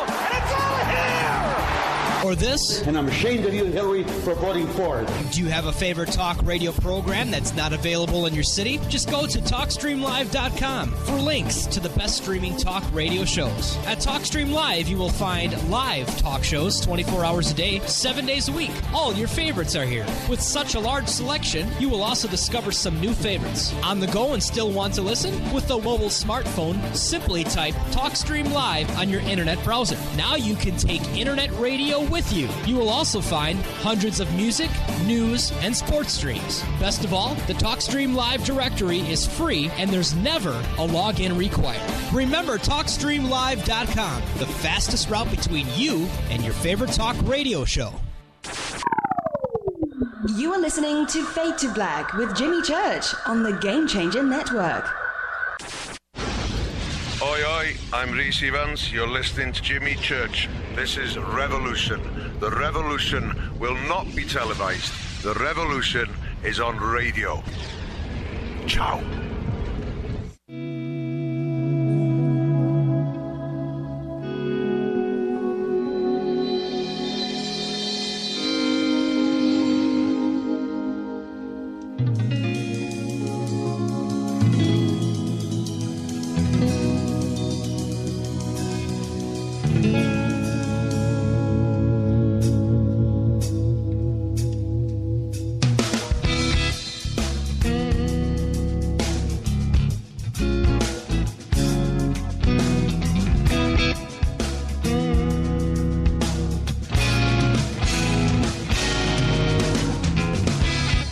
Welcome back to Fade to Black. I'm your host, Jimmy Church. Tonight, John Lear is with us. Tomorrow night, Linda Moulton Howe, right here on Fade to Black. Thursday night, Fader night, Jon Rappoport will be here and his No More Fake Newsroom. Hey, John, I got to tell you, the uh, the questions that have lined up here in Twitter. Uh, oh man, I'm going to try to get some of them, if not all of them, in tonight. But uh, people love you, man. I just uh, I just got to say, and let me um, uh, before we continue, I just have to. This is from Mark, and he says, "Can you ask John about his near death experience when he crashed as a young man in 1962?" Yeah, uh, when I crashed, what they did is it was uh, near the uh, it was in the soccer field at the boarding school I used to go to, and the ambulance drive to Geneva, Switzerland, where the hospital was, was about 45 minutes, and uh, I uh, I didn't remember the crash, but on the way to the hospital, I remember floating above my body and looking down and saying, "No, I'm hurt too bad. I'm never going to make it. I'm never going to make it to the hospital." And then about five years later, I was in a um, uh, an airliner on approach to Geneva, and the outer marker is right near this boarding school. And as we flew over it, I'm looking down uh, about the height that I started this original spin from, and I had a total recall of hitting the panel. I remember the the shoulder straps breaking and my head going forward into the panel, and that that was the two things I remembered. Wow. Did you uh did you do all of the uh the things? Did you see the light at the end of the tunnel and No, your life your life did it replay in panoramic 70 millimeter Panavision? no, that'll come in a couple of years. if not sooner after this radio program. oh, John. Um, now, uh, the secret space program. This is what I find interesting. And uh, last week, you had mentioned uh, to us uh, very briefly. I, I want to go back to a couple of your comments. One of the things that you said last week was uh, that there are mirrors out there deflecting what we really should see. How how does that work, and and how do these mirrors work? uh, just like regular mirrors, and they the ETs don't want us to know uh, in our in our star system, which includes uh, our sun and the nine planets that uh, NASA tells us about. But actually, there's a, four, a total of 40 planets, and uh, 39 of them are hidden with gigantic mirrors. You have no idea how uh, capable these people are of, of building stuff, and they have robots that build this stuff for them. And uh, yeah, that uh, just like a regular mirror, and it's pointed at a different direction so that the uh, reflection of the planet uh, is somewhere else that we can't see. So we would be looking at space then reflecting in the mirror. We would just see blackness. Right, just see black. And now, what about uh, the the the dark side of the moon? You've talked about this a lot, and I'm fascinated with this because there's a lot of reports that have been coming out now, more and more about what is going on on the dark side of the moon. And uh, you know, now China wants to fly on the dark side and take pictures, and I find that a little bit strange that finally that would happen. And the other part of that is why haven't we flown to the dark side of the moon and, and flashback pictures? They just haven't done that. What's going on on, on, on the back side of the moon? Well, we have pictures, and I have a bunch of pictures, and it's not the dark side; it's the far side, and it's lit just as as much as the side we see.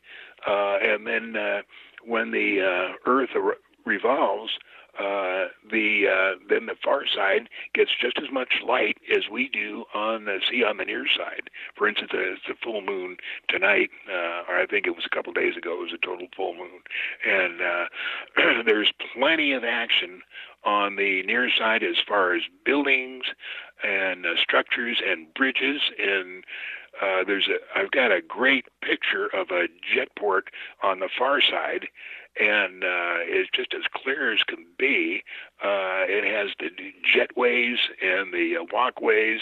Uh, it has the control tower uh, and everything, and it's. Uh, uh, yeah, we we took a lot of those pictures on the far side of the moon uh, with the explorers or the um, what was the name of that? Uh, there was a mission that went uh, between 1965 and 1967. Uh, there was five missions uh, with cameras, and what they were doing was trying to find the the best uh, landing place for the alleged Apollo. Mm-hmm. And those are printed. I just happened, you know, just by accident, about 30 years ago, I was in Portland, Oregon, and there's a huge bookstore there. I can't remember the name of it, uh, but I was walking in it one day, and I found a section just on NASA that had old NASA um, printings, books, and uh, I just bought all of them that were there, and uh, not knowing what I'd need them for, and now. Uh, they're tremendously value because they have pictures of the uh, far side that are printed pretty clearly, and enlarging those, uh, you can find all kinds of stuff there. With um, uh, I I I, I kind of want to get this thought out correctly. With the when you say the far side of the moon, and is it lit up like it would be uh, when when Earth is dark when it's nighttime? Is it like that? When it's dark, You know, at nighttime on Earth, no, you it can lights still. up lights up for uh, half of the 30 days that it uh, revolves around the Earth. Yeah, uh, yeah, I understand. But what I'm what I'm saying is when Earth is in night, we can still walk outside and see. You know, it's not totally black, right? Is that yeah, what? you can see you can see the on tonight, you can see it totally lit. And in about uh, 15 days, uh, it'll be totally dark. And uh, you can usually see the moon uh, when it's dark. You just can't take any really good pictures. Yeah, and so um, on the far side of the moon, is it the same as our nighttime, like midnight here? Is that what it's like on the far side of the moon? You can still see. There's Yeah. still plenty of light. Yeah, uh, except the sunsets are uh, three days long, and uh, the the uh, the daytime color of the sky is saffron yellow, and uh, I found that out from Howard Menger. Uh, who's passed away about three or four years ago, but he was taken to the moon by the people that live up there, and um, he spent about uh, a week there and uh, they took him to all kinds of different places, showed him all their stuff that they got going. It's really interesting, and he was still alive when I started my really uh, uh, interest in the moon, and so I uh, emailed him uh, and asked him uh, if I sent him uh, six color swatches of saffron, saffron yellow, would he pick out the one that was closest uh, to the color of the sky uh, daytime on the moon? And I sent these uh, swatches, and he sent back and he put an X in the one that was identical to the uh, sky that he saw when he was there. And so when you say saffron, that kind of saffron, orangey yellow saffron color. Yeah. Yeah, that's and uh, so then. I I have some pictures of the moon, and what we did is we put the identical color there in the sky. So you got a, a, a what it would look like if you were in the daytime moon. Uh, if what what you would see in the sky. Who who who has been? I know you've you've had your your inside people. I'm putting quotation marks around inside.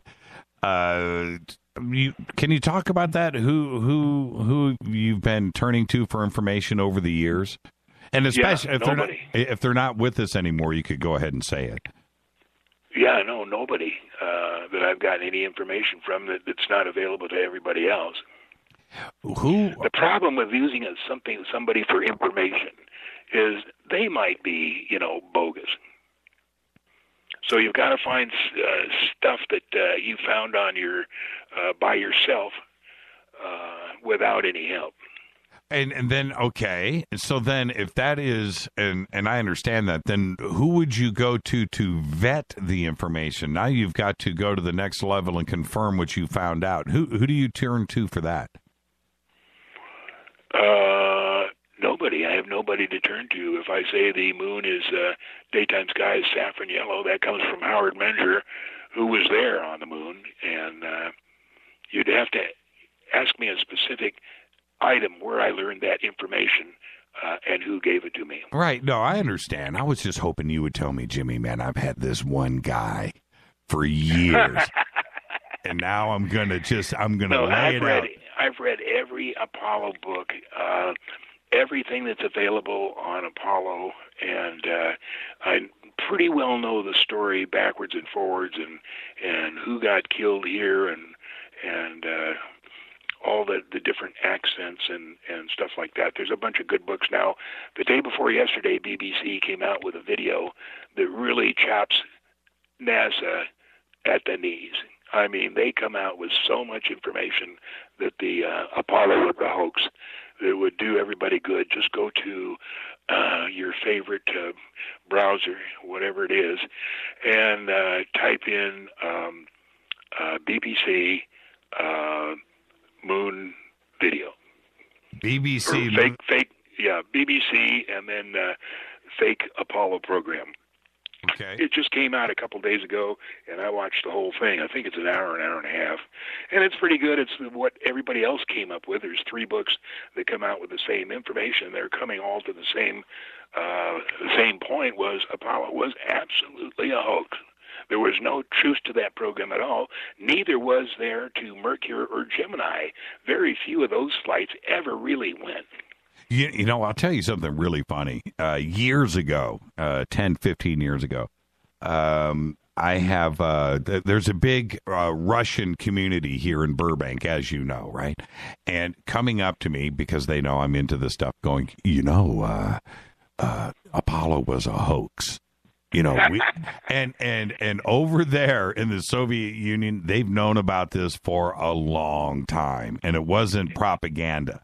You know, this is, and it's really funny where I would try to defend and listening to my Russian friends, bang, bang, bang, bang out facts. This is not coming from Bart Sibrel or or other people that have been doing this uh, over here for a long time. This is Yeah. from a whole nother community, a whole nother country, a whole nother continent that uh, you know they've known this for a long time. It's really funny, and and, and you know, for me, John, it's not. Yeah, we have the Van Allen belt. We you know we uh, we have those issues, and and and and what von Braun said about the size of the rocket and fuel. I get. You know what? When I went to the Smithsonian and I looked at the Apollo capsule and I took a really hard look at it, that looks like the technology from a 1960 Volkswagen Beetle. That's Absolutely. what that's what that looks like to me, man. That doesn't look like anything that made it to the moon and back. It just Right, and the lunar lander is the same thing. There's scotch tape all over it, and uh, this is while they were in flight, or you know when they were uh, able to take some pictures of that. And uh, when they uh, allegedly moved away from the uh, orbiter, moon orbiter, to land on the moon, allegedly land on the moon, they took pictures, and and the the, the use of um, masking tape and uh, duct tape and all the rest of that that was just ridiculous. And the uh, the the the uh, thickness of the uh, wall of the lunar lander, I think, is is like uh, a thousandth of an inch or something more ridiculous than that, and that was supposed to hold in uh, four or five pounds of pressure for them to believe, but uh, uh, to breathe. But uh, you know, it's just it's just ridiculous to look at some of those pictures. Yeah, and survive the uh, the crazy uh, temperature swings that you have. You know, it's hundreds of degrees going in both directions, and and also all the micro meteorites that would be flying around. You know, it, it just seems to me like it would be pinged full of holes, and it would never have had pressure to begin with. But yet Yeah. they expect us to believe that. Um, I wanted to uh, I want to shift gears and, and pick your brain a little bit on MJ12 and those documents. You've been outspoken about this for a long time, so let's let's clear the air on on, on some of it. Uh, MJ12, the collection as a whole, those documents, hoax or real? no, real, and uh, they may be modified a little bit. But uh, when it first came out, with when uh, Bill Moore first came out, and I got my first copy of it, uh, the first thing I did was uh, figure out how to get to Jimmy Doolittle. Now, Jimmy Doodle Doolittle was uh, one of our famous generals. Uh, he wrote a book uh, called uh, "I Could Never Be So Lucky," and doesn't say anything about this in it. Uh, but really a great guy. And when I had my airplane accident in 1961, he wrote me a two-page letter of how uh, not to be discouraged by that, but just to profit by your mistakes. And I've got that framed on the wall with the picture of him taking off the aircraft carrier in the B-25 uh, going to uh, bomb Japan. But anyway, the plan was to get him to comment. So I went to my mom, who now, to go back uh, 50, 60 years, um, I lived at uh, 222 14th Street in Santa Monica, and Jimmy uh, Doolittle and his wife Joe lived on Third Street, and they used to be over at the house all the time. Uh, so we knew them pretty well. I didn't, but my folks did. So um, after uh, Joe died, uh, Jimmy moved to um, Carmel, and my mom kept in touch with him like every month or so. Hi, Jimmy, what's going on? and I was up in Reno, and I said, Mom, this is really important to me. I want is sometime when you're talking to Jimmy, just say, Look, uh, Jimmy, John's getting involved in something. I'm not sure whether he should or not, but uh, I want to know if MJ12 is true. And uh, he said, Yes, Moy, it is, but I can't tell you anything more about it. So that for me was okay. Now it's full speed ahead. And you know, Jimmy, we're talking about Jimmy Doodle, not only a hero uh, and a general, but if anybody was going to be in the know about something like that, I would I would say Doolittle would be the guy. Absolutely, and he wasn't an MJ12er himself, but he was just as close as you could get. Okay, so what about the original list of the MJ12 and and who was there? You feel good about that? Yeah, that was good. I'd just like to know all the details of uh, Forrestal, who allegedly committed suicide with a rope tied around his feet, jumping out of the 22nd story of uh, Walter Reed Hospital. Um, they killed him mainly because he was so. Um, uh, he wanted to tell the public what was going on, and uh, and they just didn't want any part of that, so they had to kill him. And what what how did you feel when uh, Bill Moore stepped up at MUFON and said, "You know what? I've been a tool." You know, and and ran out the back door.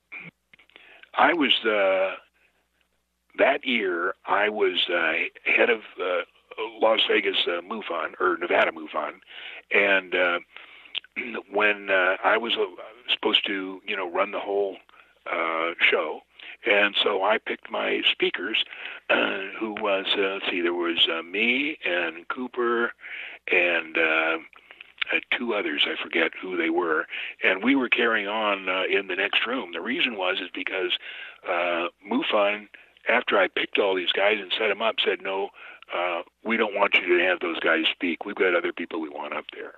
And uh, so instead of obeying their orders, what I did is just set up the next room there, uh, the the um, convention room, and had my uh, my own people there, uh, so that we could hear the real stories of of what were going on.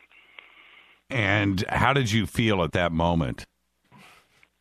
It was really interesting. I had maps of. That was the first time that uh, Area 51 had come to the uh, public uh, knowledge, and uh, there was a guy who used to um, knock UFOs all the time. His name was Phil Klass, and uh, I've known Phil since he was a since I was a little boy. He was the uh, always has been the aviation editor for Aviation Week, and basically he was supposed to uh, uh, discredit all the UFO stories, and. Uh, uh, I made the badges for uh, all the people, all the speakers uh, at the um, convention, MUFON convention, and on his I put Philip Klass MJ12, and he just picked up that badge and wore it and never looked at it, never looked at the MJ12. Everybody thought that was hilarious. I think that is hilarious now. Uh, I and wish I have a picture of that. I wish he was still around because I would love to uh, have him on this show. It would not be fun. It would not be pretty. I mean, you know, he was he was a straight shill, you know, uh, on the payroll, and it, it just he was somebody that, and especially when I go back and look at those old uh, interviews and stuff that he would say publicly uh, about about people was just wrong, and especially like what he did with Travis Walton too, as well. I mean, just just uh, uh, no and Larry morals. Warren, he did the same thing. Yes, yes, yes. So, um, but back to um, back to Bill Moore. So when he made that statement and dashed out the back door because he probably would have been taken out uh, into the streets on Las Vegas Boulevard and tarred and feathered, and so he takes off. What do you think that that did? For the MJ12 documents at that point, I mean, for you, did it put a question mark on everything? It, and was he just was he given real documents and and used as a tool? No, he was the um, uh, gopher for uh, Richard Doty, and we already knew those guys were all in the payroll, and and that's what was their job. So um, I didn't pay any attention to that. Have you uh, have you talked to Doty since then? No, I've never talked to Doty, but who I talked to was uh, Robert. Uh, I'm trying to think who he was. And Linda Howe and I met at a UFO conference in Crestone, Colorado, and there was uh, eight of us there. And uh, all we did was kind of assemble all the uh, information that we had, and that's when uh, Tom Adams came to me at the end of the conference and he said, "John, I got this note in the mail, and I'm not going to be in Las Vegas. Can you uh, can you uh, check on it?" And it was a note from. Um, uh, she, many years she made us call her uh, Mr. X, but her real name is uh, I can't remember her real name. But um, anyway, she uh, uh, had written this note to Tom Adams and said, I have a friend who worked as a security guard there, and uh, he's written me about the uh, underground uh, facility at Dulce, and I'd like to talk to somebody about it. So this is the first time I ever heard of Dulce or an underground facility or anything like that. And so when I got back to uh, Vegas, uh, I contacted her, and that's when I got really involved in this uh, Dulce thing and, and the fact that it was real. And uh, what happened is when this guy left work at Dulce, he had uh, 25 black and white photos, eight minutes of videotape, and 100 pages of information. And he put uh, six copies of these into separate containers and gave each container to a friend of his, each to six different friends of his, including uh, Sherry. And uh, there was, um, uh, and he said, if I don't, he contacted Sherry every four months. And he said, if I miss two contacts in a row, in other words, eight months, you're free to do with these whatever you wanted. And uh, Sherry had uh, hidden um, the one package, which is about uh, 50 miles south of Las Vegas in the mountains. She took me down there. I didn't climb up in the mountains to look for it, but uh, she showed me where it was. and um, that was how that came came about. Now, what happened is after that uh, conference in um, Crestone, Colorado, I drove with uh, Linda down to see Clifford Stone in Roswell.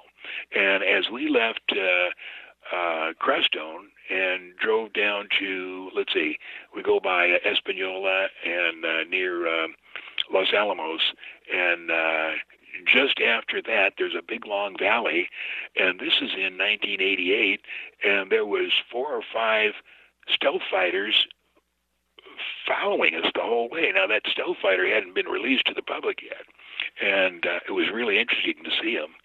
And uh, then we went on down to. Uh, uh, I'm trying to remember the name of that city. It's before you cross over um, uh, to the main highway going down to Roswell. But halfway, uh, right at the turnoff to where Brazel's Ranch was, uh, we're driving along. I'm with Linda Howe, and we see 14 or 15 dead cows. And I'm wondering, holy smokes, how can this be that I'm with Linda Howe and we just happened to run run into these cows? And we walked over there, took pictures, and uh, looked for any signs of classical um, mutilations, and then there wasn't any. And then we uh, drove down to find the first ranch and asked that uh, rancher what he knew about the cows. And he said, "Oh, they have this uh, disease, and uh, uh, one of the agencies is going to come down and pick up the cows." What what were the odds of that happening? You and Linda and 14 dead cattle. I mean, oh yeah, that was that was really weird. There's been things that happen like that, and the the other thing is when I we stayed with Clifford for a couple. I did with a couple of days, and uh, when I drove home, uh, it was dark when I got to um, Kingman, and so Kingman up to the dam, up to the Boulder Dam, uh, in those days, and that's been what 30 years ago, uh, was dark as hell. There wasn't one single light uh, going up to the uh, dam, and I'm driving along and just a little on edge, thinking of all the stuff I'd learned and everything, and uh, this I see this little light behind us, and it wasn't a car light, wasn't that big and I'm colorblind, so I'm just saying it was like orange or red or something like that. And it's following me along, and I got scared. And so I started speeding up until pretty soon in this old truck of mine, I'm doing 90 miles an hour. And then I thought, wait, this is ridiculous. I'm going to uh, stop and see what is. So I slowed down, stopped, got out, looked behind me, nothing, couldn't see any any light, and then well, I'm just imagining things. Got in the truck, started it up, and again, going along about 60 or 70, and here's light back again. And uh, after a couple, oh, maybe 30 minutes, it disappeared. And I never know what caused that or, or what they were trying to do, but uh, it certainly scared me. The real John Lear. This is Fade to Black. More with John when we come back after this break. Hey, John, you want to take a couple of phone calls? Absolutely. Let's do it. Let's open up the phone lines. This is Fade to Black, and we have the real John Lear. I'm your host, Jimmy Church. We'll be right back. Hi, everybody. This is Rob Halford, the Metal God on JimmyChurchRadio.com. KGRA Radio. Intelligent talk. So, you love talk radio? Then you'll love TalkStreamLive.com. TalkStream Live is always on, 24 7, with the best streaming talk shows. Find your favorite talkers and discover some new ones. It's free, readily available online or on any smartphone or tablet. Finding your favorite talk shows all in one place has gotten a whole lot easier. Just go to TalkStreamLive.com. Be sure to download the free apps from Google Play or the iTunes App Store. If your home has hard water and it's leaving white spots, then it's likely that limescale is clogging your pipes. Limescale can cost hundreds of dollars a year in wasted energy and early appliance breakdown. HydroCare systems available at Wave Home Solutions prevent and remove limescale with just a simple filter change every three years. There are no salts, chemicals, or magnetic coils. Satisfaction guaranteed. For more information, just go to bestwater123.com. That's bestwater123.com. Hi, I'm Richard Dolan. When I'm not hosting my radio program, The Richard Dolan Show on KGRA, or writing new books on UFOs, I run a publishing company. I'm proud to say that Richard Dolan Press has published some of the most fascinating books available on UFOs and related subjects. They include Dr. Bruce Maccabee's classic analysis of the UFO cover-up, David Marler's breakthrough book on triangular UFOs, Dr. Richard Sauder's unique work on underground bases, and other classics by Grant Cameron, Chase Kloetzke, and Dr. Bob Wood. Not to mention intriguing works by Eve Lorgen and Laurie McDonald that deal with truly bizarre phenomena. I'm proud to publish such high quality and original works, and there are several amazing books about to be released over the next few months. Go to richarddolanpress.com to learn more.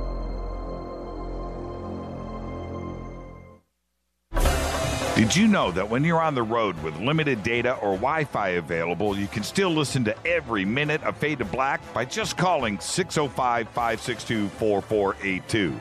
No smartphone, app, or internet needed. It saves your data plan and no extra cost if you have unlimited minutes. Just call 605 562 4482. You can listen to me, Jimmy Church, on any phone, anytime, anywhere. Go Beckley Tappy.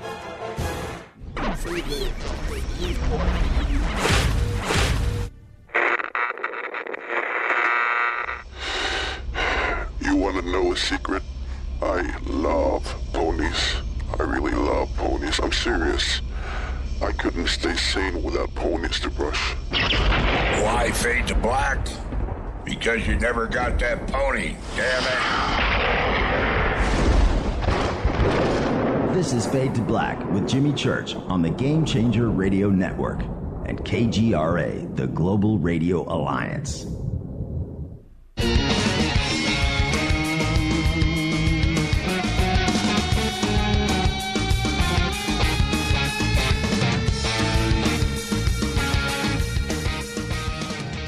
Welcome back to Fade to Black.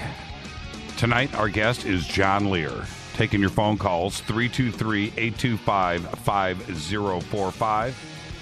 Follow us on Twitter at JChurchRadio. If you have any questions, you want to fire those off in Twitter, yes, I see them all lined up here, and I will continue to get to those. But that is hashtag F2B. I want to remind everybody tomorrow night, Linda Moulton Howe is back with us. And then Thursday night, we have open lines. Let's go to the phones. Hi, you're live on Fade to Black. What's your question for John Lear? Okay, I have two questions, and unfortunately, it's not Linda Moulton Howe here. This is Dino. Uh, John, I requested you on the show. We love you on the show. The first question is short. If you believe that the Van Allen radiation belt prevented anybody going up there, how does the secret space program get around that problem? Uh, they have help from the ETs. Okay, so they have some kind of a, a substance or a, a, a shield in their ships. Right. Okay, that the second question is a little more involved, and I'm not wishing any kind of demise for you. But I asked Dr. Mitchell uh, before he died last year. I happened to be at a conference, and by my phone, the same thing I'm going to ask you. I understand that you have certain top secret security clearances, correct? I had them. I don't have them anymore. Okay, well, what's connected to that is what I would ask you because we all so many of us are so at awe of all the information you have, whether you had a, a place where maybe you have other individuals where there are things that you have never revealed publicly to any of us on the UFO circuit or anywhere that perhaps after you're gone, you will release things that you couldn't release while you were in oath, so to speak. No, I released everything that I know. There isn't one thing uh, that I have kept secret that I found out. Okay, there you go. All right. That's thank you so much. We enjoy hearing you, John. Yeah, thank okay, you. thank you. Thank you, Dino. Hi, you're live on Fade to Black. What's your question for John Lear? Yes, sir. Uh, this is Captain. How are you, Jimmy? I'm doing good, Hey, how you Captain. Okay. Uh, John, Oh, oh, John, sorry, sorry about that. That that was me. okay. John, I want to say congratulations, sir, because uh, you're one of the uh, very, very astute people to uh, interview, and I, I think very highly of you. Thank you. My question is this. What do you know about the Black Knight satellite, and what do you think about it? Uh, what is that? The Black Knight satellite. You know, the Black Knight satellite. That was the one that we uh, discovered in the middle 50s, right? Yep. And it was orbiting, and uh, we were trying to figure out what it was and what we could do about it. And and there's that's about all I know about it. And that's still about all we know about it, John. they have they have managed to uh, keep that under wraps, uh, and it's funny when NASA let those uh, uh, images go on their website, you know, a few years ago, and then they pulled them all down. Yeah, yeah, it was uh, pretty dramatic. All right, Captain. Anything else? Uh, yes, uh, I do want to ask uh, John, uh, what does he know about the uh, the galactic that was uh, in the uh, uh, during the time uh, when they had, uh, I I think it was one of the uh, grays they have captured, and uh, this gray lived for quite some time. And uh, what did he know about that? They were living in one of the uh, compounds. Well, there's uh, a couple of there's a couple of grays that uh, that we had. When you say captured, it's it's unlikely we actually captured anything. The grays are robots, very advanced robot robots. They know more than any of us, and uh, the uh, the the people that are behind all of this cover up have tried to put out a couple of EBEs that. Uh, uh, that aren't really EBEs. One is called the J Rod, and uh, they dressed him up in a regular suit with a tie. Uh, they put him in a um, uh, a uh, they put him in a uh, Air Force flight suit and put him in an A-10, and they were trying to sell people that uh, this was an EBE, and they're still trying to say that the ETs are here to get help from us for some program. Either you know they have something wrong with their uh, uh, system or uh, something that they need help from us, and it's complete. Uh, completely asinine because there's no way we could know as much as they do, and they wouldn't be having having us help them uh, at any point. They, they might be asking directions. You know, maybe they're lost. Hey, hey, Captain. Th- thank you for the phone call, brother. All right, thank you, sir. Yeah, thank you so much. Hi, you're live on Fade to Black. What's your question for John Lear? Hi. Um, my question is, last week when you brought up that gentleman that he, I guess he was channeling uh, supposed ETs, and then all of a sudden he figured out that they were not actual ETs, but it was the military-industrial complex messing with them. That's right. Uh, I, I would just like to know exactly like his in-depth analysis of that, or even if he's even been aware of that actually happening last week, or Okay, eh, you know that's a great question. What's your name? uh, Nelson. Thank you, Nelson. Thank you for the phone call. John, what he's asking about is last week, Greg Giles, uh, somebody who has been channeling uh, for years uh, the Galactic Federation, and uh, he came out on his website, on his blog back in January, and said, Look, everything that I have been channeling uh, was uh, signals sent to me from the Department of Defense, three letter agencies, and it was a sophisticated mind control program. I wasn't actually channeling. All of my information was coming from uh, Washington, and and he apologized to everybody about that, about being a victim of this technology, and that's that's what came out last week. What do you think about that when it comes to channeling? And people that are in contact with, you know, ET races, that this could I've never be, bought into any channeling. Never bought into uh, anybody being uh, uh, being uh, given secret information or any information by ETs. And and and why is it? Is it because you you know something else that that that that that wouldn't be possible, or are you just saying that people that are channeling are are bogus? No, I've just never heard a, a legitimate story coming out of a channeler. And do you think right, right? Do you think that the channelers believe what they are channeling? Totally. Yeah. And and it could like I said, uh, you know, when Giles came out and said this, it made perfect sense to me. He believed what he was channeling.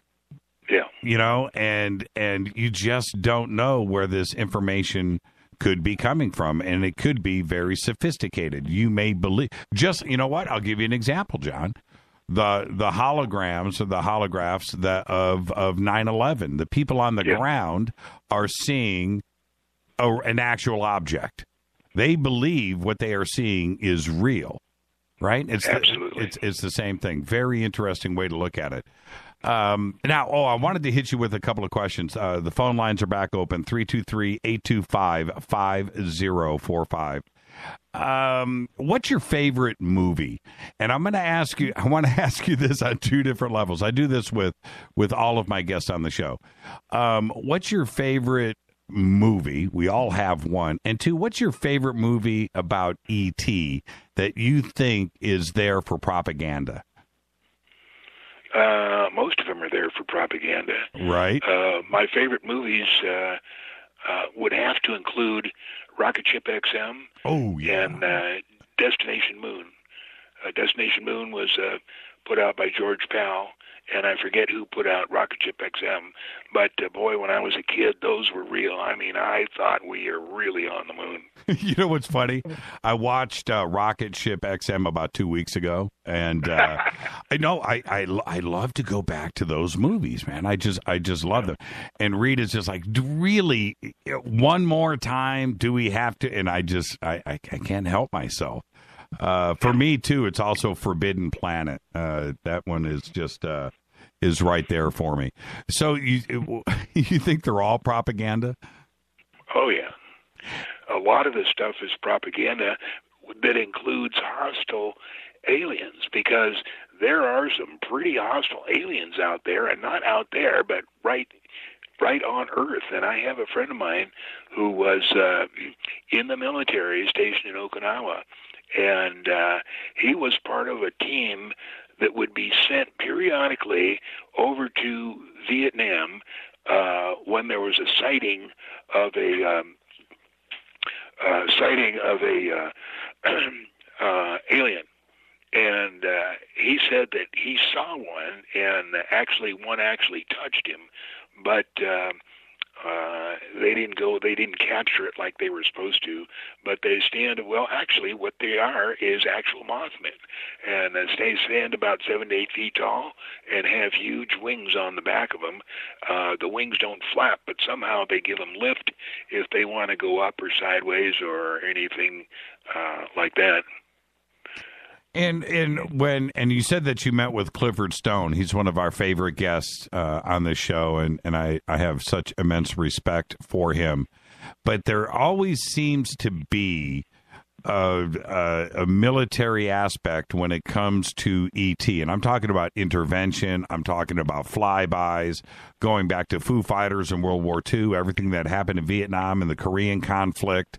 Uh, and then, of course, we have uh, the interference that has been run over our nuclear installations around the world, not just here in the United States. Why is that with ET, and what is it that they are concerned about? I don't think they're concerned about anything. They have um, a lot of objectives, an agenda, and I don't know what that is.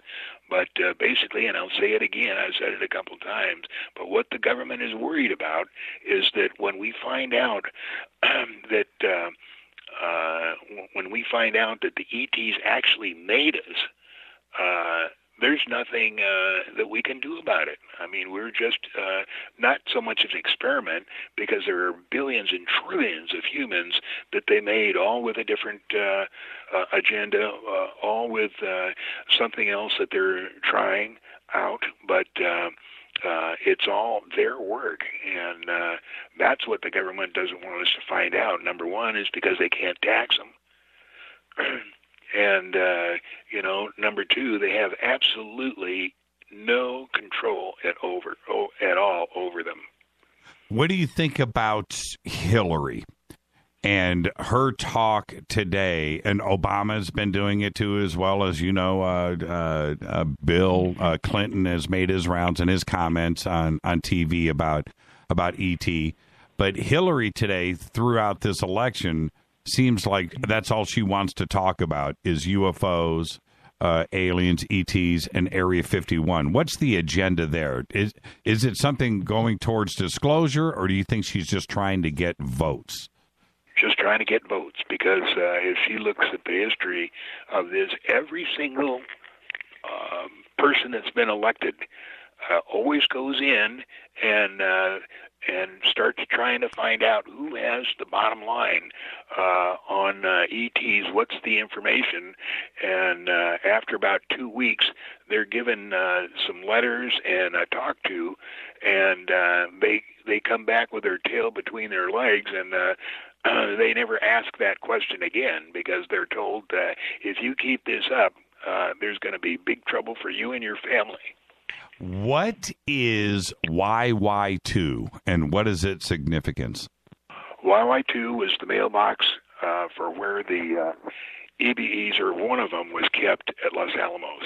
And that was one of the key questions that we told Bob Lazar when he was he thought UFOs and aliens were total BS. He used to tell us, "Look, I worked at Los Alamos, and I knew everything. There was uh, there was nothing that I didn't know." And uh, I never heard anything about aliens or UFOs. The same thing with Ned Day, who was a very, very uh, knowledgeable uh, newspaper writer here in Las Vegas, and I was good friends with him. And uh, one day I was in the studio, uh, Channel 8. I took a whole bunch of stuff uh, that I wanted to release, and I told the whole story to Ned, and he looked at me. He said, "It's not possible, John." And I said, "Why?" He's because I know everything that's going up at Area 51.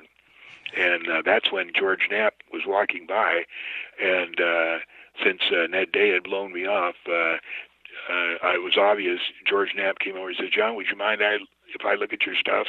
And that's what all started the uh, friendship between me and uh, George Knapp. With- he wanted to listen, whereas Ned Day did not. I have to ask you because I certainly got an Im- immense amount of satisfaction out of this. But going back to Bob uh, Lazar, and when he brought up back in 89, 88, Element 115, right? And then right. now there is an Element 115. And by the way, I think they should call it Lazarium. You know, that's, that's just me.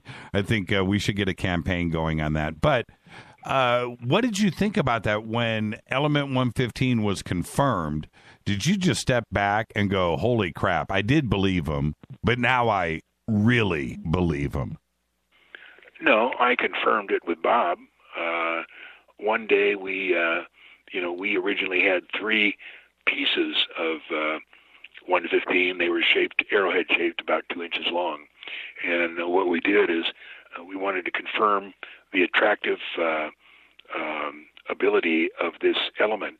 So we got some dry ice and a bell jar, and we put the um, uh, the 115 uh, over the dry ice, and uh, the dry ice was supposed to make fog when the bell jar was on it, and then we got a, uh, a portion of the Coleman lantern, uh, which uh, puts out a, a radiation um, that you can get nowhere else and it goes uh, out of the uh, uh, the element into you know outer space at millions of miles an hour. and what we wanted to see if it really did uh, attract uh, uh, it really did uh, attract uh, the element. And yes, it did. With it filled up with fog, and uh, uh, I think there was one or two cases where uh, these things came zinging out and made a U-turn uh, into the 115, and that was pretty much uh, pretty much satisfied everybody that was around there, which was me and George Knapp and Bob, and uh, on on the reality of it. As far as them making it now, uh, they could only make an infinitesimally small portion uh, after months and months and months of uh, uh, of trying. They they you know it's nothing that they could make that would be of any use. Right, right. It just lasts for nothing, right? It just comes and goes. Hi, let's go back to the phones. Hi, you're live on Fade to Black. What's your question for John Lear? Hi, this is Eric. Hey, Eric. How you doing? Hey, John, I just wanted to ask you, uh, do you still stay in contact with Bob Lazar? Yeah, he has uh, United Nuclear uh, in uh, Michigan, and he sells um, scientific equipment to universities and uh, and and schools all around the world. I want to ask you. I, I read an article recently where you apparently you, you get a lot of information sent you. So you, you spend a lot of time uh, researching and reading it. Are there any news stories that are out right now that you're interested in uh, maybe talking about? Uh, any news stories? No, I I heard can't of Kyle of Odom. Oh, Kyle Which? Odom. Kyle Odom. Have you heard his story yet? Okay. Um, anything else, Eric? I'll I'll tell That's it, John. buddy. I just was curious. Okay, you got it. I'll tell him about Kyle Odom here in just a Okay, second. no problem. Yeah, thank you you. so- have a good night. Yeah, thank you, Eric. Uh, did you see Bob uh, last year when he came through Vegas and went to the museum and uh, did the interview with Knapp? Yeah, he did the uh, one of the interviews in my in my den. Oh, he did. It looked Yeah. familiar. The the one at the table. Yeah. Okay, so that was at your place. How, Bob uh, looks like he's he's dabbling with the fountain of youth. He still looks pretty good, doesn't he? Yep, sure does. I mean, his mind is right there. There's um there I, I'm going to tell you about uh, Kyle Odom in a second because uh, that's something you should go and research and check out. It's a pretty fascinating story. There's one, my one comment about Bob, and I have said this to anybody that wants to debunk or or go after him. There's there, there's one thing is that I have watched every interview. I've watched every presentation, and of which there's a lot out there. You were there for most of it, and I have tried to get him to make a mistake. Right? Just, and I'm, I'm being serious, John. And Nothing and- ever changes in his story. yeah, I, I, not only that, um, there's that part of it, but it's uh, done with uh, somebody that is speaking the truth.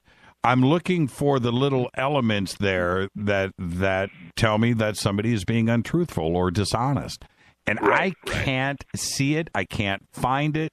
And that's why I, I go with Bob. I go with Bob on this, and the, and then there's the other part with the uh, oh, you know with the 10-10 agreement, right? Ten years in prison, ten thousand dollar fine. Yeah. With him coming forward, uh, then one would say, well, then how come he didn't go to prison, man? Well, you know what? If they send him to prison, that means he's telling the truth. Right. They they can't. They can't. They can't fine him. They can't say anything. All they can do is just let him talk. Because if they do anything else, then they've got some splaining to do. Right. Exactly. Now, I'll tell you about Kyle Odom. Kyle Odom is the guy that uh, last month was arrested throwing objects over the White House fence. And so the Secret Service goes and arrests him. And what he was throwing over the White House fence were USB drives, right? And he tells the Secret Service, and he had a manifesto that he had written before his arrest, that he was uh, a victim of uh, an alien cult in Coeur d'Alene, Idaho. And uh, and his pastor was a reptilian. There was a shape shifting sex cult of Martians that, that had taken over the earth and this and and but this is this is what's crazy about the Kyle Odom story is that he uh, uh, up until two years ago, till 2014, he was a, a, a college graduate, postgraduate studies in medicine, and is a very intelligent guy. And you listen to him speak, and you and you read his stuff. This is a guy that comes from smartness, right? And and, and he says in the last two years, his life was just overtaken by Martians. And then he went and literally those are his words. And that's what he threw over the White House fence was uh, information that he needed to get to Obama. And part of it was a letter that he wrote to Obama saying, man, I know that they've got a hold of you, but you know what? You're doing a fine job. And it was this, this letter. So you should go and read. It's Kyle, K Y L E, Odom, O D O M.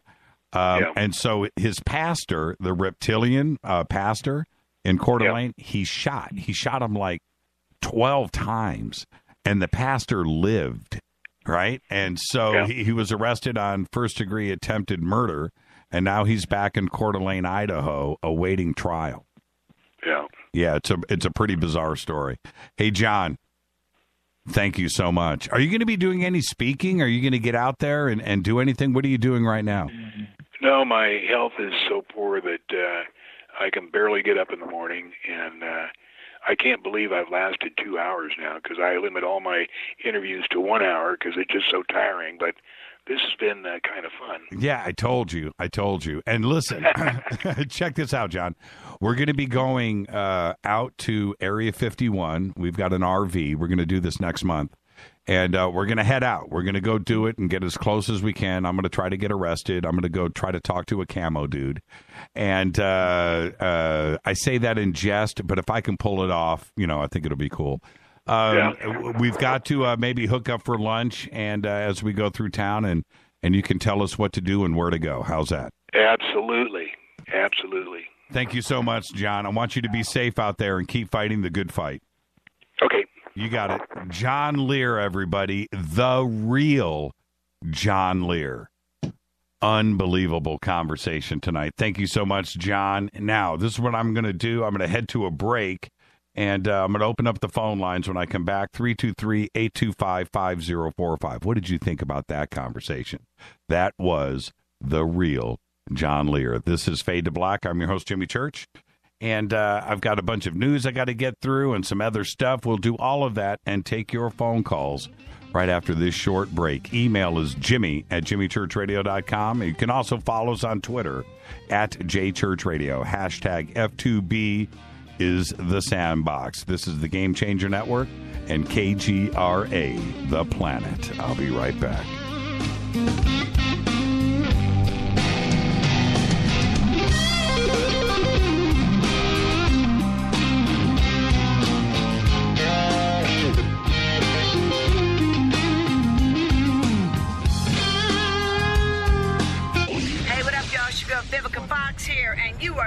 To my boy, Jimmy Church, on JimmyChurchRadio.com. Despite popular opinion, reading a book will not make you smarter. But listening to Jimmy Church will.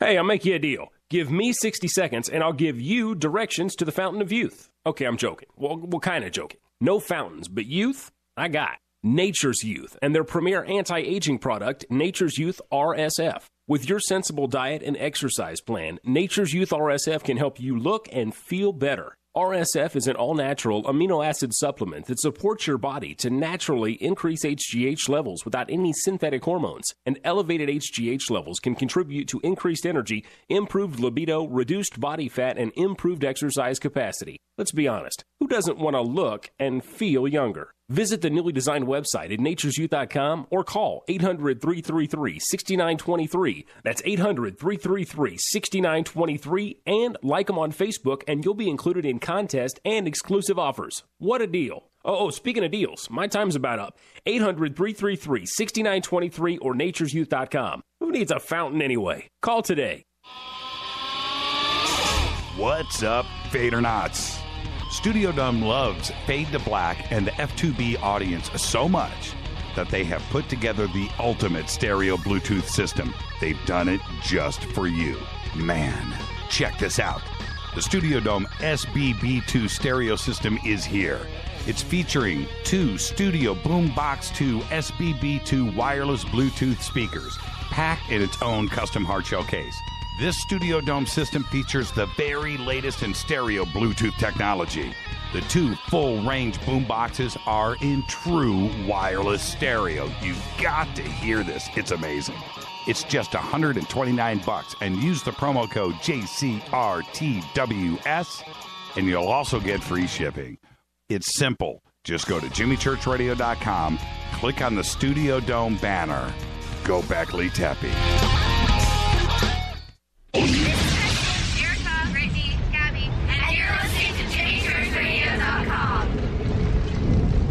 It's not a lifestyle we chose. We were born this way. KGRARadio.com.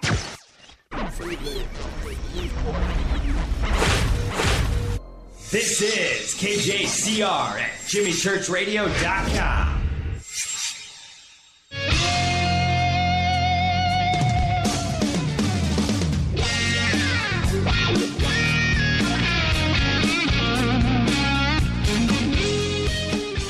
Welcome back to Fade to Black.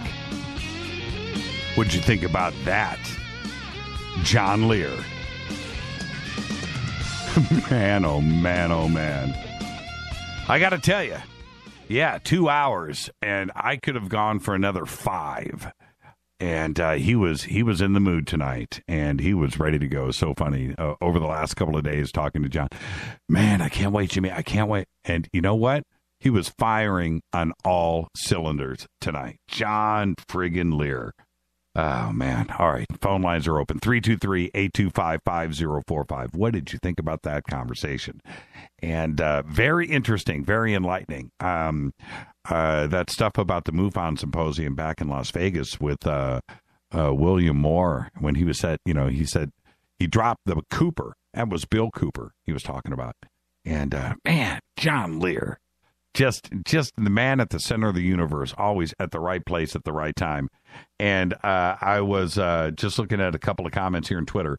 Egyptian Princess says, "Guess what? I'm listening to again tomorrow morning with my coffee. What a great show!" Brian says, "Eh, "I may not believe everything Jimmy's guests say, but." I always have a damn good time. You damn Skippy, Brian. That's exactly what I'm talking about. And uh, Eric just said, uh, I can't wait till Jimmy talks to John Lear after reading after John reads the Kyle Odom story. I would love to hear what he has to say about Kyle. Yeah, you're you're right about that. And of course, Mark from Australia says, "Great interview with John Lear, Jimmy. Thank you so much." And you know what? Uh, Spiritual Warrior uh, says, uh, "I miss those days. Good stuff. You're absolutely right. Those were crazy days indeed." Um, uh, I'll say this about this conversation tonight. Always remember that I, I, I'm just a guy, right? I'm just here. You know, it's about the guest and and what they have to say. I'm I'm very blessed and very fortunate to be in this position to to guide and and try to ask the right questions at the right time. But when it's a guy like John, you just want to just sit back and absorb it. And I found myself doing that so many times tonight. I was just listening to him and zoning out and uh, getting sucked in just like all of you. Just an amazing conversation. All right, I'm going to open up the phone lines 323 825 5045. Let's go back to the phones. Hi, you're live on Fade to Black. You're live. You're live. Three, two, one. You're live. Okay. I tried. There you go. 323 825 5045. Check this out. The U.S. Navy today sent a guided missile destroyer. Now, remember what we were talking about last night with Bruce Gagnon? Okay, that whole conversation on last night's show. And then, boom, this happens today. The Navy sent a guided, guided missile destroyer within 12 miles of that island in the South China Sea where China has uh, built an airstrip. And uh, this is what we did. And I just don't get this. I really don't.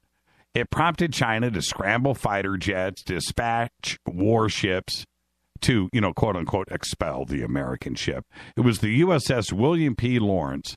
And we are saying we exercise the right of innocent passage while transiting inside 12 nautical miles of Fiery Cross Reef. Now, it's a guided missile destroyer.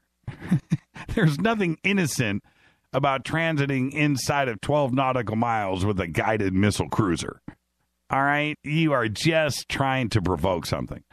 And then we came back and said, under the United Nations Convention, the law of the sea, 12 nautical miles is considered the limit at which a nation's rule extends off its shores. The law of sea defines innocent passage as a transit in which a ship does not conduct any military, commercial, or research activities. It's a guided missile cruiser. The Pentagon statement said that the U.S. did not notify any of the countries involved about the destroyer's transit in advance. We're lucky that thing didn't get fired upon. Hi, you're live on Fade to Black. Okay, there you go. Let's go to the next caller. Hi, you're live on Fade to Black. Yeah, hi. Hi, you're live right now. Oh, okay. Sorry about that.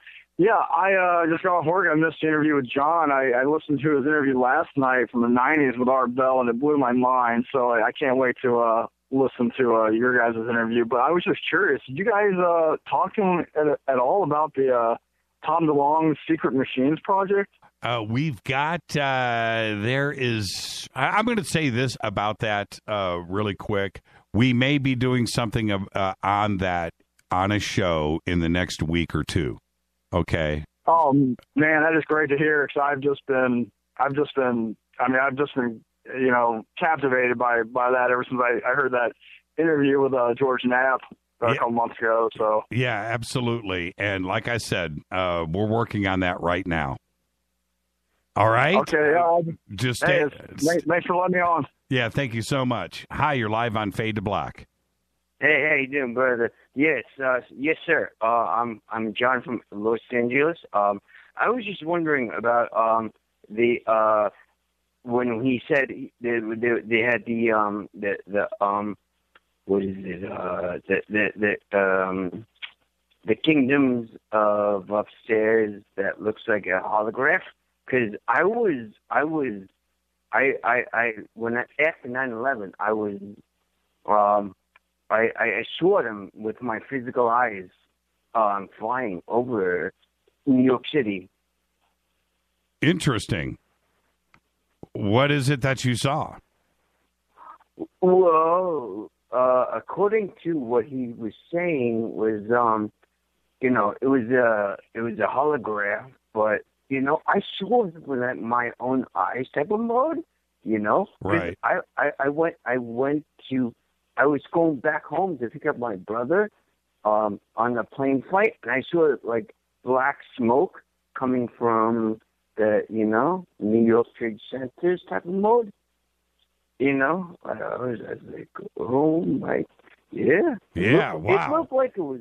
Um, I'm sorry, That's okay. What's your name? Uh, John. Hey, John, thank you for the phone call. And I find that really, really interesting.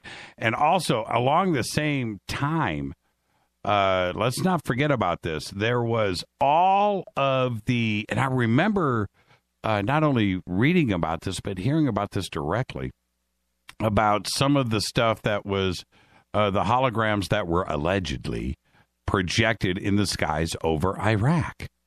And not only did we do it in the first Gulf War, but we did it in the second Gulf War. You know, and if you are going to develop a technology like that, we're talking about cheap. Okay? It doesn't cost you anything to project. It's the cost of electricity. Yeah, you have the cost of whatever it, it's going to take to develop the gear, but after that, you're just flipping a switch, right? It's just electricity. So, how easy is it to do? Now, I have said many times on the show, I am not discounting uh, anybody's opinions on 9 11. All theories are on the table because something funny went down there. I, the hologram theory behind it, which we've all heard many, many, many times, I'm I'm not as comfortable in and now I'm saying it's anything is possible, but I'm not going there. But what I do have issues with because I've I've tried to fly these planes on uh, different simulation programs and I can't pull it off. I can't. Now, Gran Turismo, racing a car on the ground, I got that down. Right, got all the gear to to do all those driving games. But when it comes to flying on simulators and trying to learn how to fly those aircraft, I couldn't pull it off. Couldn't do it. I could get a Cessna off the ground and kind of buzz around, could never land it. Right? But when it comes to the big aircraft, I just couldn't I couldn't master it. So I don't understand and that's where I'm with John on this. I can't imagine somebody no matter how long they've been training is going to go and get in one of these real aircraft and first pass through hit it dead nuts uh, right into the center of the building. I'm, man, I have issues with that. Unless these guys that took over were actual professional trained pilots. Now that's a whole nother thing. So I, I don't know. I really don't know. What I do know is there's a big conspiracy behind 9 11, and uh, we're no closer to the truth today than we ever were. And I don't know if we ever will find out the truth. One thing is for sure about 9 11. I'm dead nuts positive on this. Washington and Saudi Arabia and probably others knew in advance that that was going to happen. And that is the big conspiracy because nobody can tell the future. We knew, Washington knew, they knew that it was going to happen. And if you know that, then there's a whole mess. Think about that. All right, 323 825 5045. Carlin Q. Williams, a 39 year old inmate in federal prison today, says he is the son of music legend and sole heir of Prince.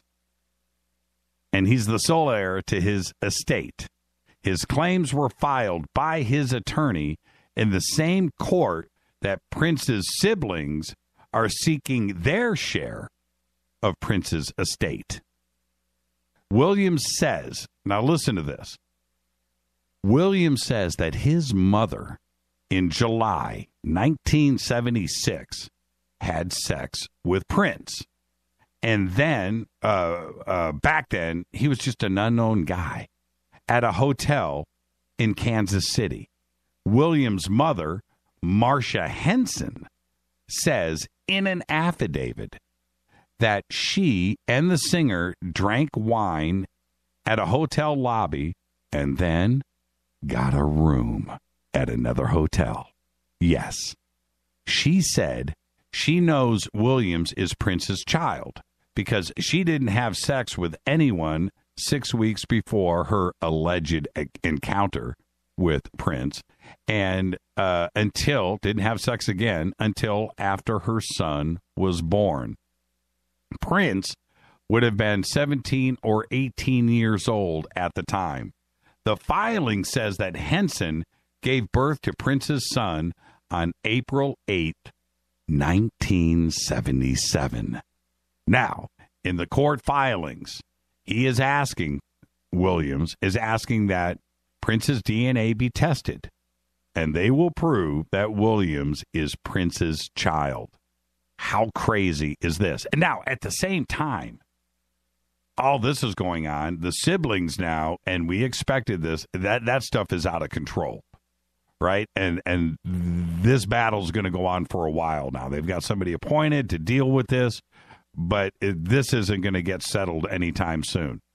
They said that there is a, a safe somewhere in, in Prince's uh, estate, whether that's been opened or not, or even located, that's only being talked about, right? That's the first thing. Second thing is they're insisting that he doesn't have a will.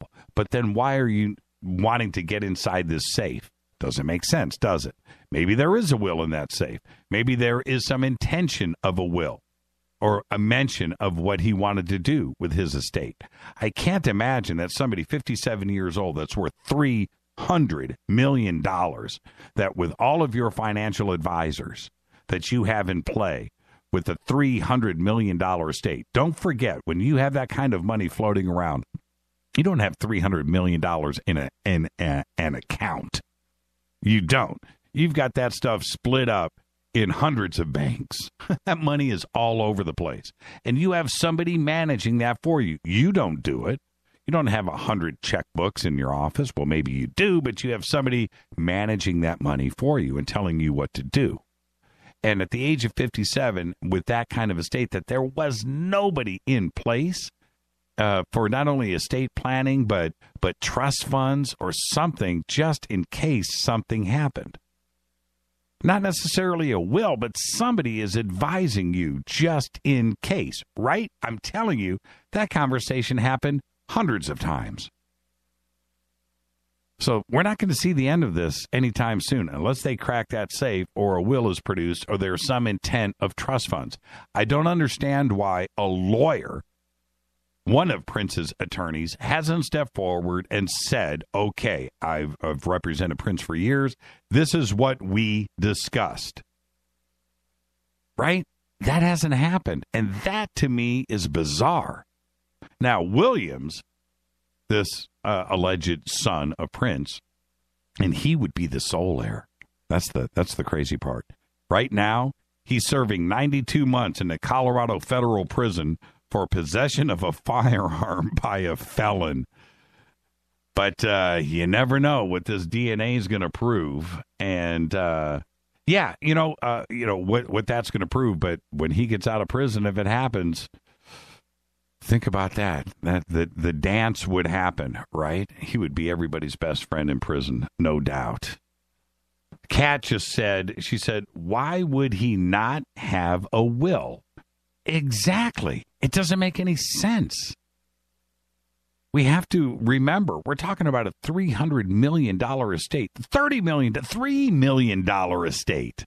You've got financial advisors that are guiding you and telling you what to do, and especially just in case.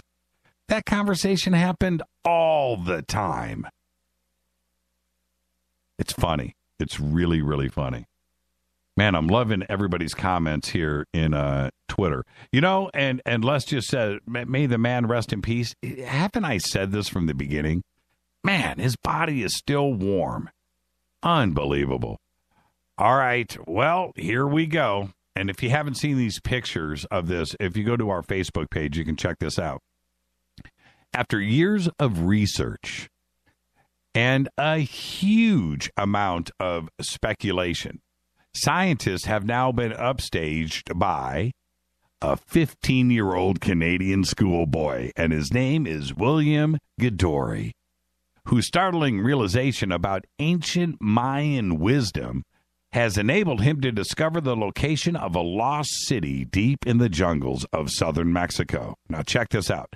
Speaking to the Journal de Montreal in French, the aspiring young scientist said he did not understand why the Maya built their cities away from rivers, on marginal lands, and in the mountains. It didn't make sense to him. Yet he was convinced that they had to have another reason. And as they worshiped the stars, the idea came to me, he says, to verify my hypothesis. I was really surprised and excited when I realized that the most brilliant stars of the constellations matched the largest Maya cities. After his amazing eureka moment, Gadoury then turned his attention to yet another constellation, consisting of just three stars. Since two of these lined up perfectly with two known Mayan ruins, he began to speculate that the third must also reveal the location of an as yet unknown ancient settlement. So, dude is 15 years old. Using satellite imagery from the Canadian Space Agency and mapping this onto Google Earth, he was able to spot, and I've seen the picture, what appears to be a large pyramid. Yeah, similar to those found at most other Mayan cities, surrounded by a series of other structures. You've got to go and check this out. Go to our Facebook page right now, Jimmy Church Radio, and check it out. Let's go to the phones. Hi, you're live on Fade to Black. Hey, Jimmy, what's up? Who's this? It's Beth. Hey, Bev, how are you? I'm doing good. How are you doing? Well, I'm doing great, but I think you're calling to say what an amazing conversation that was with John Lear. Yes, yes. And And, and also, I have to tend to agree with you about Prince. and what's that? That you can't tell me he was worth that much money and he did not have a will. Right. Or or some intention to distribute trust funds to his kids. You know, that's what that's what financial planners do, right? Yeah, it's like Yep. when I first heard that, I told Bob, I said, "What? You you can't tell me he didn't have a will." No, you can't. You just can't. You know, I, I I'm just not buying into this. You know, it, it what it says to me. You know, look, I don't know anything. I don't have any inside information. But you know what? I know what brothers and sisters and siblings and all that do when money starts coming around.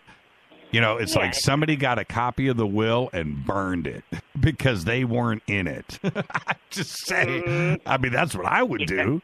That's what I would do. I would take that thing and and and burn it, not shred it, not throw it away, burn it. You know. So I don't know. I'm not saying that that's what went down, but it just seems really strange that a guy worth three hundred million dollars at the age of 57 did not consider the distribution of funds either through a trust or different trust or will.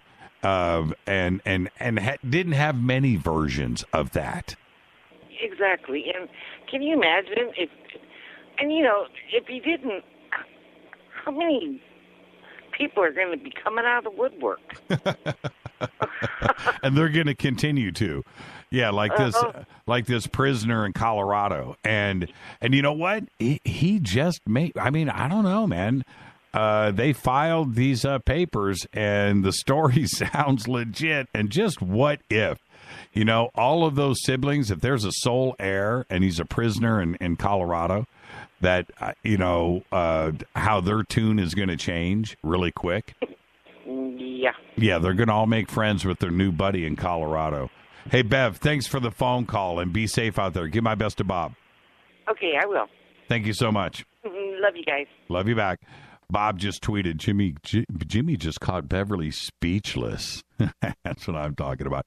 Hey, did you guys did, have you guys seen the videos of Axl fronting AC/DC in Lisbon? Has anybody seen these videos yet? I'm going to watch Twitter fire up here after we get past the uh, tape delay. But have you seen the videos? Now, I went through um, somebody sent me a cell phone video yesterday. So I watched that, and that was of, uh, I think that was Back in Black, right? And I'm watching the video. I'm like, wait a minute, man, I don't see Axl here. And I kept trying to look, and the cell phone videos, you know, following uh, uh, uh, um, uh, the band around, right? It was just a full motion video. And uh, so, anyway, I'm, uh, uh, I was going to say Malcolm Angus, following Angus around the stage. And, uh, but Axl sounded pretty good.